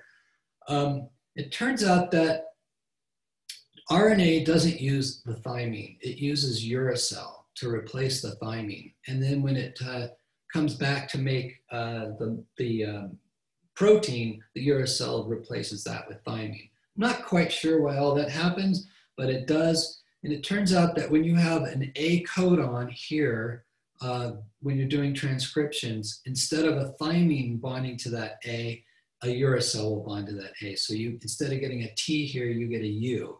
And um, you might have seen that in the previous diagram here. Um, we have a T bonding to an A, but where we have an A, instead of it bonding to a T, it bonds to a U for the RNA. Okay. So I just wanted to point that out that those are the two differences between RNA and DNA. RNA is uh, only a single strand with codons and it it doesn't have thymine, it uses uracil. Okay, and so here's a diagram of this process. Again, there's this, the, the movie that shows this in real time. It's spectacular to watch. you get the real feeling that, that these little molecules are alive. They're like little ants in an ant hill. They're doing their thing. They know what they're doing. It's spectacular um, and, and miraculous. Uh, so again, here's your DNA. There might be a segment here that we call a gene. Okay, there's this uh, thing called a, a polymerase that um, is responsible for bringing these things together and, and letting the duplication happen. Again, it's in the video. It's very spectacular. And so um, then you get the RNA being transcribed along here. Notice that where you have A's, you get U's. Here we have T's, you still get A's and GC, CG, what, okay. And then after the transcription happens, this is in the membrane, you can see this membrane here of the nucleus the RNA will break off and it will move on out into the outer part of the cell called the cytoplasm.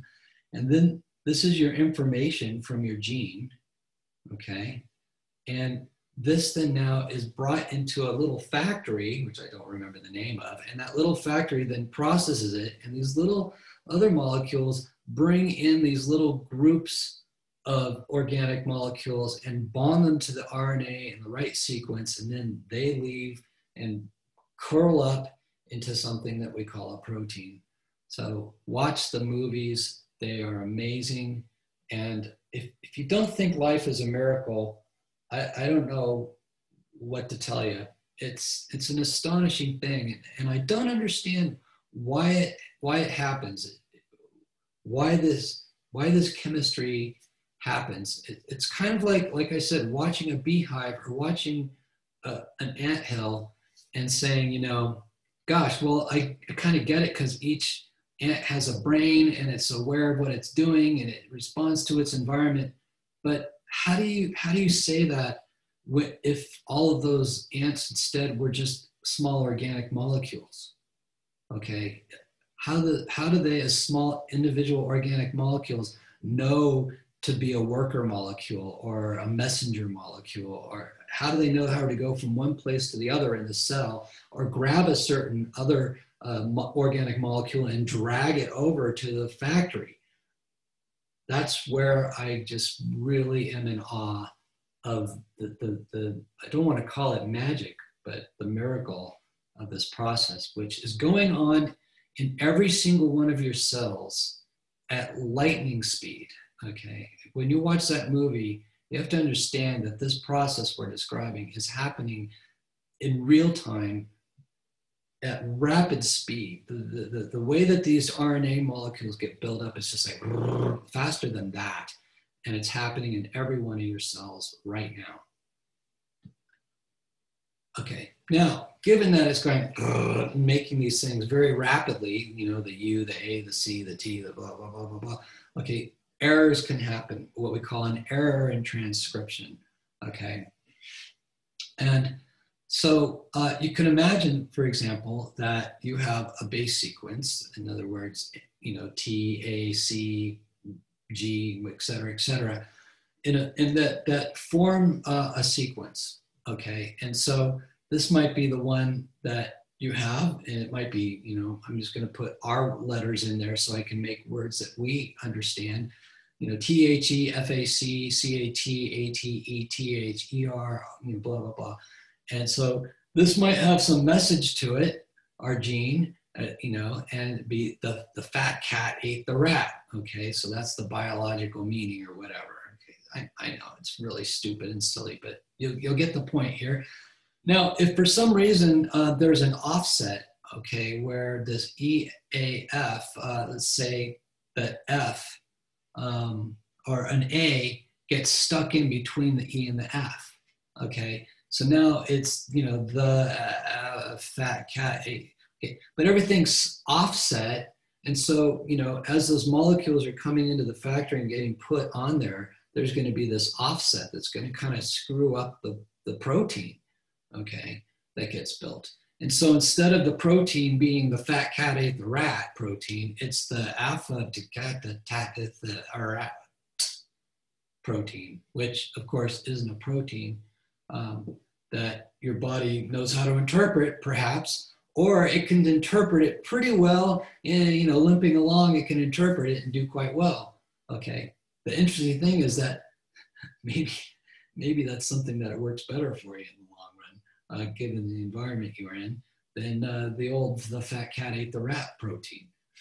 All right anyway that's one uh, modification where you get uh, uh, something inserted in between two of your codons and so you're off sequence uh, from your biological meaning, or you could have a situation where you drop the, I just said we're going to drop the E, um, and so we got the, the rat, and then so we get something that sounds like Bill the cat uh, trying to talk.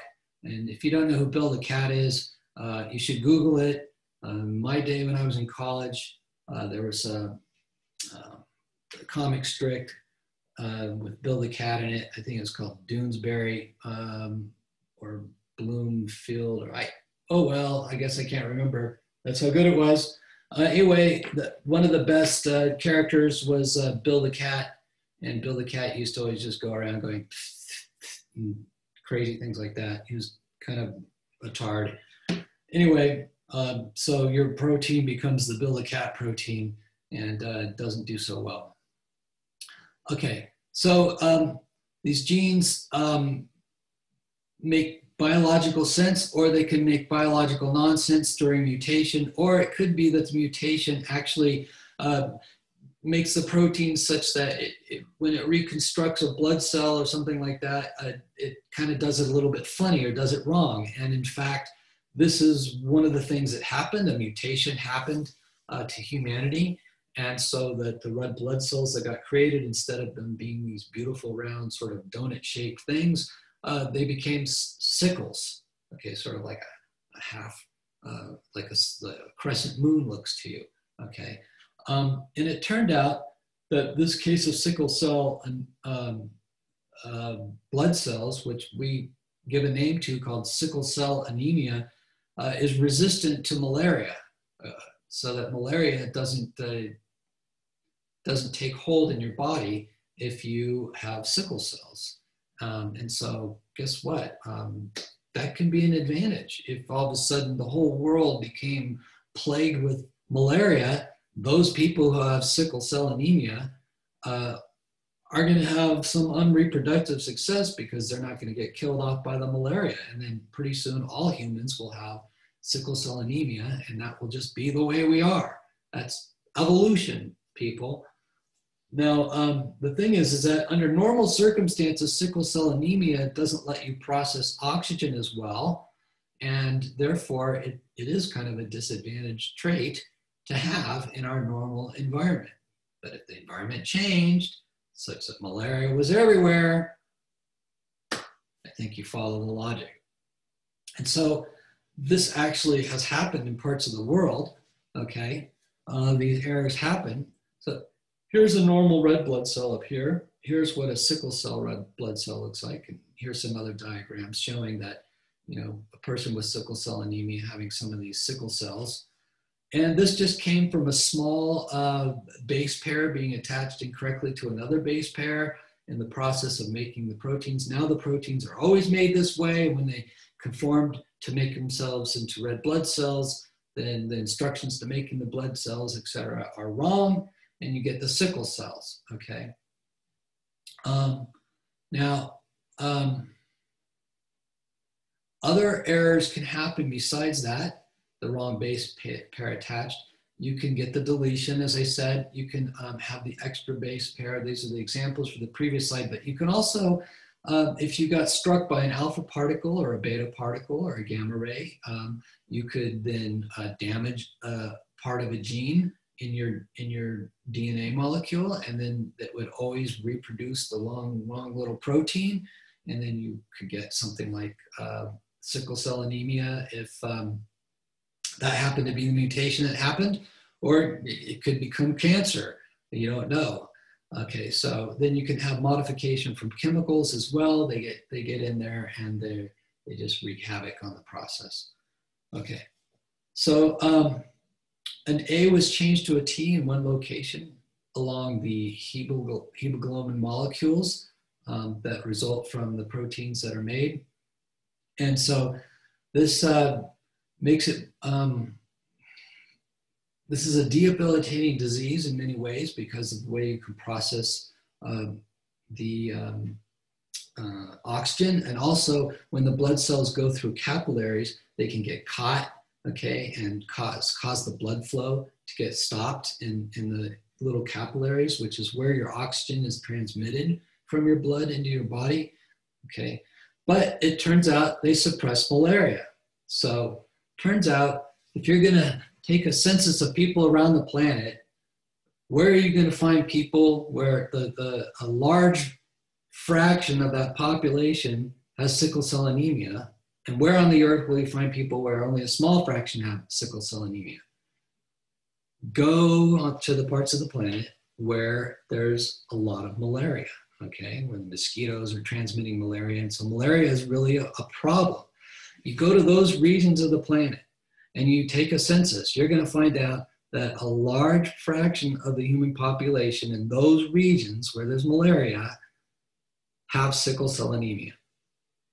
Now, I think you understand the processes why that happened. Because if you don't have sickle cells, you get malaria, you die, you don't have kids. So the people with sickle cell, they live, they have kids. Even though, in general, in our normal environment, the mortality rate of somebody with sickle cell anemia would be higher than that with normal blood. Okay.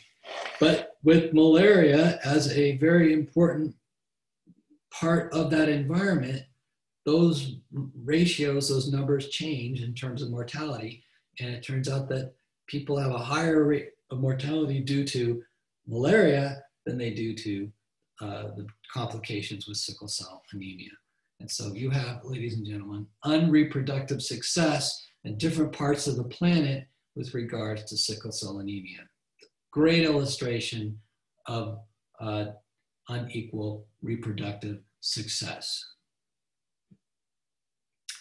All right, coming in on the home stretch, we're going to talk about the extreme uh, versions of life that are on the planet, the extremophiles. So we're getting pretty close. Uh, I think we're on slide 25 and 31, as you can see in the, in the page window up there.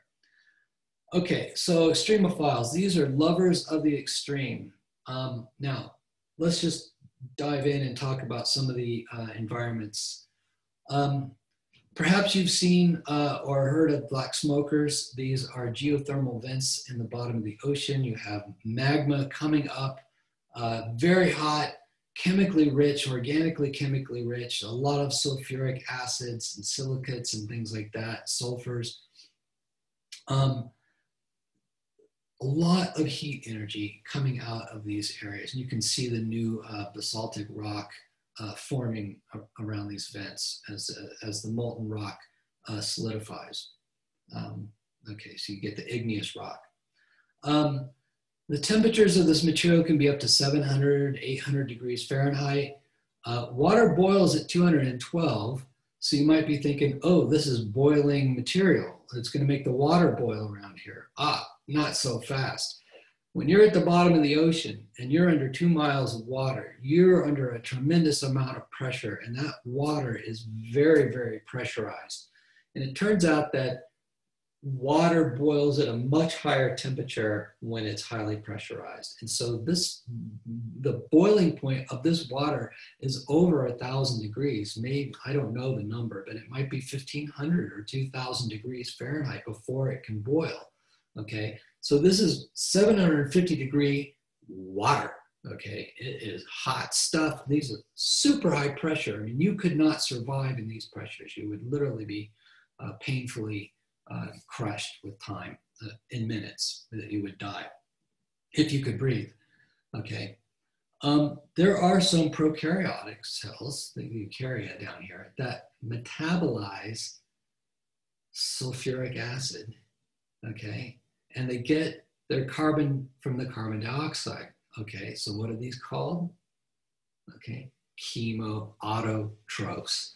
Okay, they get their energy from chemicals and they get their carbon auto from carbon dioxide. Okay, so you have some chemoautotrophs that thrive in these environments. Okay, oh look, it's written right there. I feel so proud of myself because I didn't even see that. And yet I was able to figure it out. Of course, I've given this lecture probably for 20 years now, 15 years. Okay, um, so let's see. We call these thermophiles, okay, and lovers of the, the, the hot, if you will, okay. Um, they would die in normal sunlight. They, if you brought them up to put them on the beach, forget it. They're gone. They're goners. Okay, we love that environment. They hate that environment. They love these hot, high density environments. Okay. Um, now, that's not to say that some extremophiles live in conditions intermediate to these ones that live down here in the black smokers, and we'll, we'll, I'll show some of those in a minute, that, that live basically in regions where sunlight still does can penetrate on them. So there's a whole range of these extremophiles that can exist. And here are some of the thermophiles that uh, have adapted to living even where there's sunlight. Um, if you've ever been to Yellowstone National Park, I think this is called the Great Chromatid. Um, I'm not good with names, so I may have that name a little bit wrong, but this is a uh, hot thermal pool, and you can see how large it is because uh, these are individuals here walking along this boardwalk. And I've, I've done this before. It's, it's quite amazing. Now, what you're seeing here uh, in this very hot water pond um, are different ecological niches for different thermophiles. Okay. Toward the top of the water, you see you're getting a lot of sunlight still uh, coming in, and the water is the coolest of any of the water because it's cooled down. And you have those thermophiles, which actually can live in sunlight and um, live in water that might only be a few hundred degrees. And they, they prefer that kind of environment. As you go down, you're going to higher pressures and you're going to hotter water. And so you have this yellow ring and then the green and the blue. And then in the deep blue, these are the um, colors of the bacteria or the thermophiles that actually live in these um, different environments. You can still get light all the way down here and then basically these thermophiles, the way they interact with light, that they absorb light the, the light that they don't absorb in the case of these is dark blue. In the case of these, it's, it's the orange light that they don't absorb, okay? And so you see the, the orange light reflecting off of them. And so you see that each one of these ecological niches, you have a different type of thermophile that is uh, evolved to be specialized for these different layers of these in ecological environments, even within a single hot thermal pond. And the whole Earth is like this. Every single degree of temperature or pressure or chemical makeup or amount of sunlight, life has found a way and become highly specialized and filled that ecological niche. And the whole planet is covered in a biomass that has filled every possible ecological niche that life can live in. Okay. And we have been discovering recently some ecological niches we thought life could never ever exist in. And lo and behold, life has found a way and exists there. So we are the minority. We live in a very narrow range. All life lives in a very narrow range, okay, because it's highly specialized for its environment. But all of the ranges that exist on the planet have been filled by biology, living matter.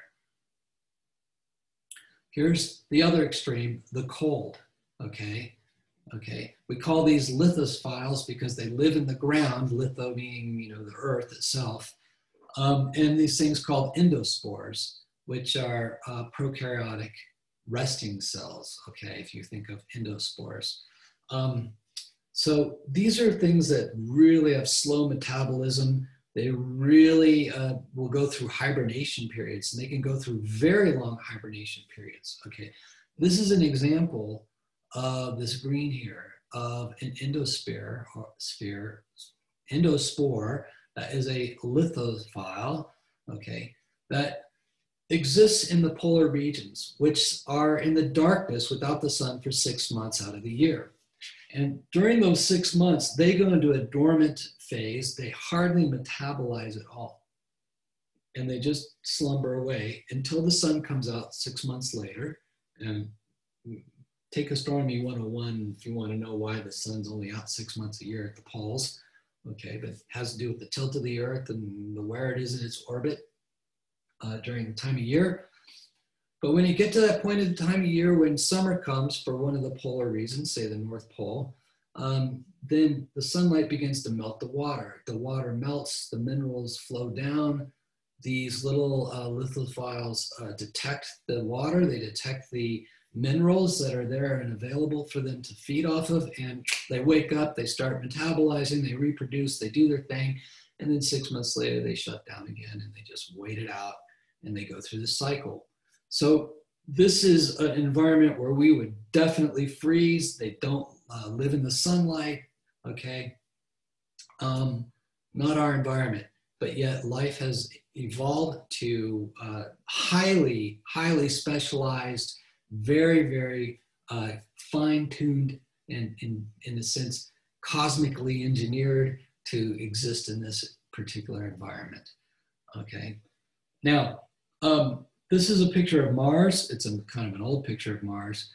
We know that liquid water has existed on Mars. And so one of the things we're gonna, we have a whole chapter on Mars where we're gonna talk about this, but these are uh, candidates, these lithophiles are candidates for possible life forms on Mars. That even the exploration we've done on Mars now, the chances of us are picking them up uh, by scooping a couple holes and you know imagine we sent probes to the earth and we, you know, dug a hole in Kansas and, and we dug another hole in France and we dug another hole, say, in Australia. And then, you know, we didn't find any life in those three little scoops of dirt. We'd be like, lifeless planet. Well, so far out of all the little scoops of dirt we've picked up, we haven't really had any definitive signs of living matter in Mars, but you know, we've only picked up a few scoops. Um, so let's not get too worried about that right now.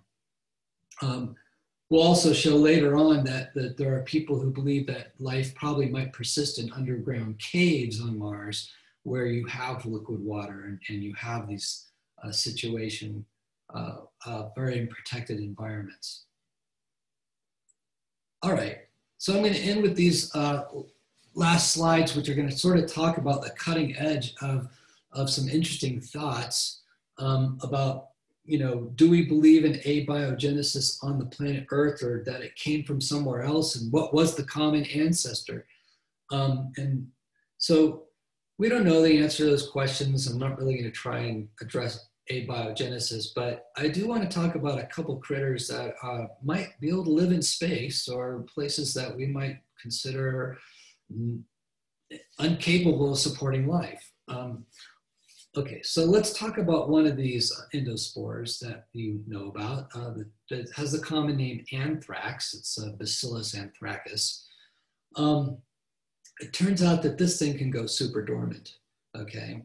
Um, super toxic to humans, all right? Um, anyway, it can live with no water. It can exist through extreme heat. It can exist through extreme cold. It can even exist and uh, lay dormant in the vacuum of space. We do not know for how long. It would be an experiment we should probably conduct, but we should have our hazmat suits on when we do that. And it's very possible this is the kind of thing that if it got knocked off the earth on a rock uh, and traveled through the solar system for the next uh, 16,000 years or 16 million years and landed on another planet and that had some water on it, like turns out the moon has some permafrost water on it. And Mars has some permafrost water on it, and maybe even liquid water. We haven't caught it, but we've seen evidence that Mars has had little outflows of water from some of the sides of uh, craters and things like that. And we have definitely have liquid water in the moons of Jupiter and the moons of Saturn. And clear, we've found huge reservoirs of water out there. So if it needs water to live and a little energy, you put some anthrax on the moon Europa around Jupiter, and I guarantee you it's going to take a foothold. It's going to be able to survive in that environment. Okay. And even if it took 16 million years to get there, it might be able to do it. Okay. Now let's talk, talk about these little things called tardigrades. And if you've uh, ever seen one of these before, images of them, they look kind of like these little bears, okay?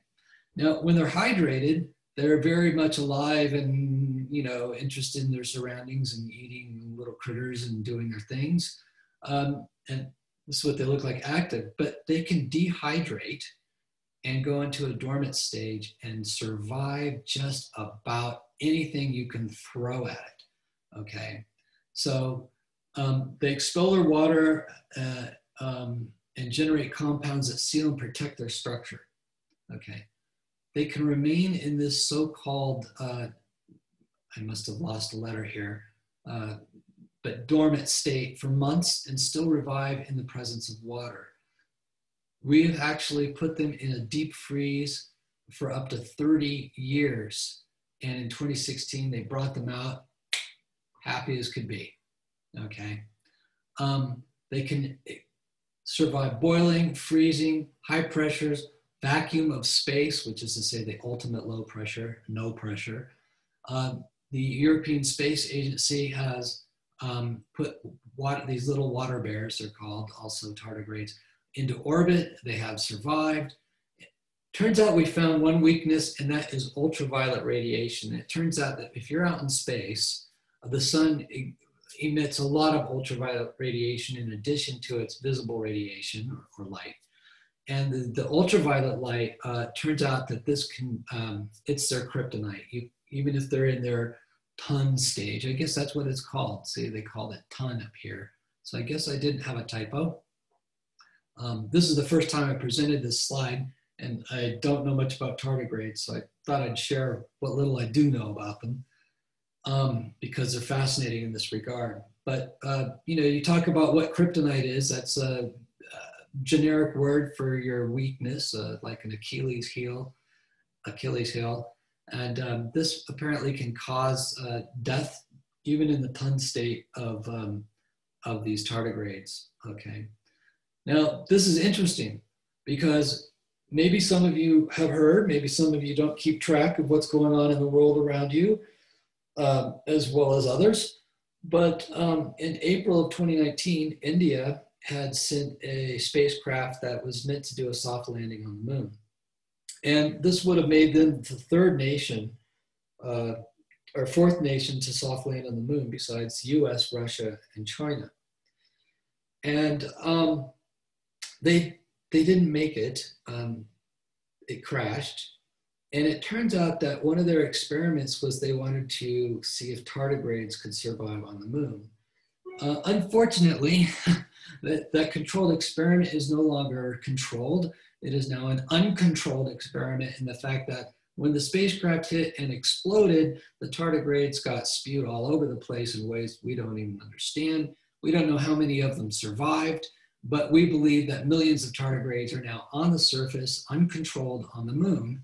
And um, who knows what's going to happen. So tardigrades may take a foothold on the moon.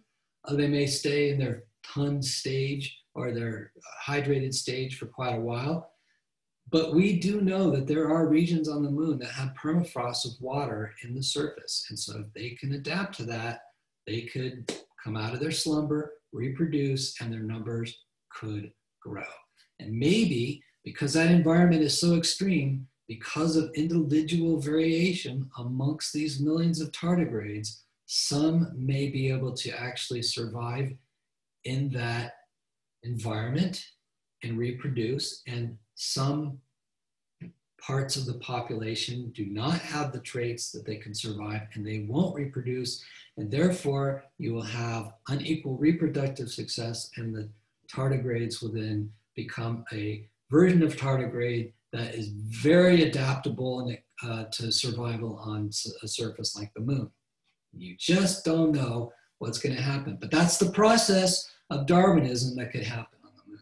So that's very, very uh, fun story that I really am happy to be able to tell, even though I'm, I'm a little bit uh, worried about if, when we get back to the moon, whether it's going to be tar- tardigrade central or not. And go there and find some cities with tardigrades in them.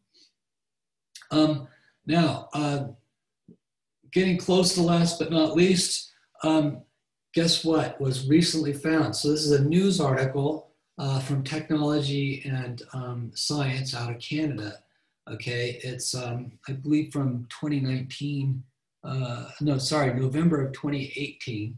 And what you're looking at, ladies and gentlemen, is a, a new type of microbe that has never been seen before. Um, and it doesn't fit on the tree of life. All right, I, I really want to um, make a point here. You buy a new book on astrobiology, edition four or five of the textbook, it's going to just show the three trees of life.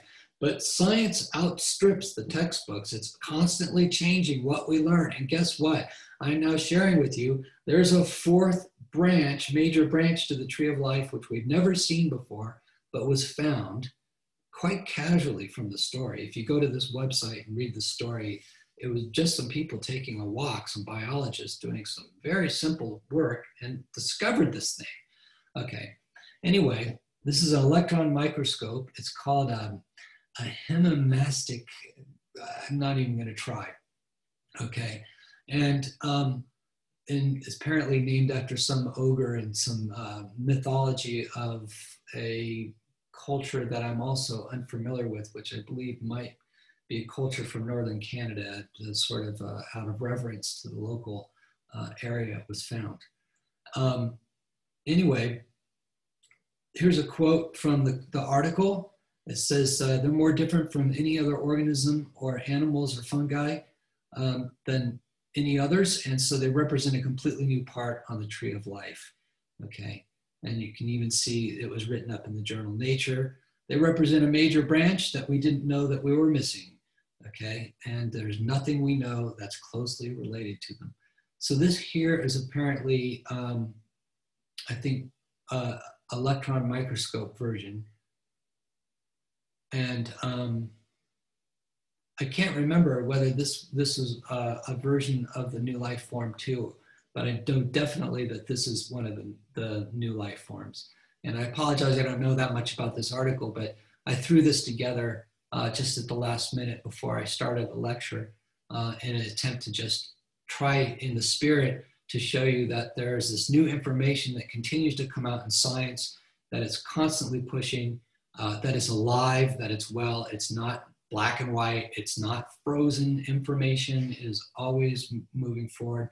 Human knowledge is always moving forward. Now, uh, I, last things I want to talk about are viruses. Are viruses alive? Well, we'll ask that in the next slide. Um, and obviously, the reason I want to talk a little bit about viruses is because, well, we're all in quarantine, and the reason I'm giving this lecture over, you know, uh, the web is is because uh, we're all quarantined from the coronavirus. Um, now, we also recently talked about global warming, and as the Earth is warming, we are learning that uh, the polar cap, the North Polar Cap in particular, has receded dramatically. The glaciers in Greenland are receding dramatically. Now, we've talked about dormant life forms um, um, that live in the ground that uh, wait until the opportunity arises for them to come out of their dormant state. And we don't know a whole lot about how long those dormant states can be. But here is a virus that was dormant for up to 30,000 years, okay? And this virus has now come back to wakey wakey stage and is active and reproducing, uh, finding hosts to infect and reproducing. Okay, it turns out that it's not dangerous to humans uh, in its current um, um, mutation stage. Uh, but it does affect amoeba and um, it can go in and affect, infect these and, and reproduce this way. Okay, so it was found in a Siberian permafrost that had thawed, um, we believe, due to global warming.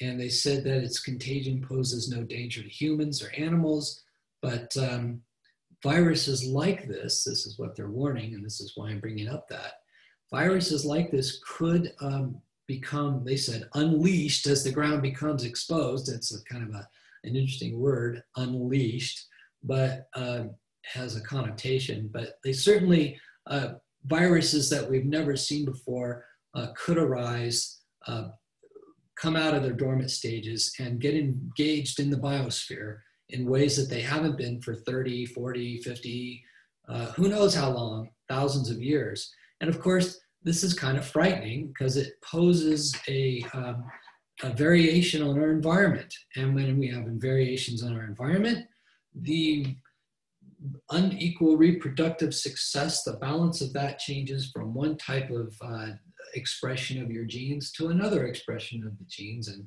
uh, I don't mean your, I mean your species.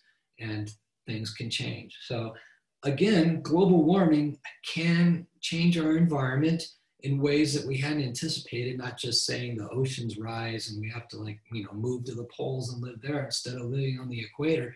But in terms of the biosphere, it can actually uh, introduce um, new uh, stresses and strains to the biosphere.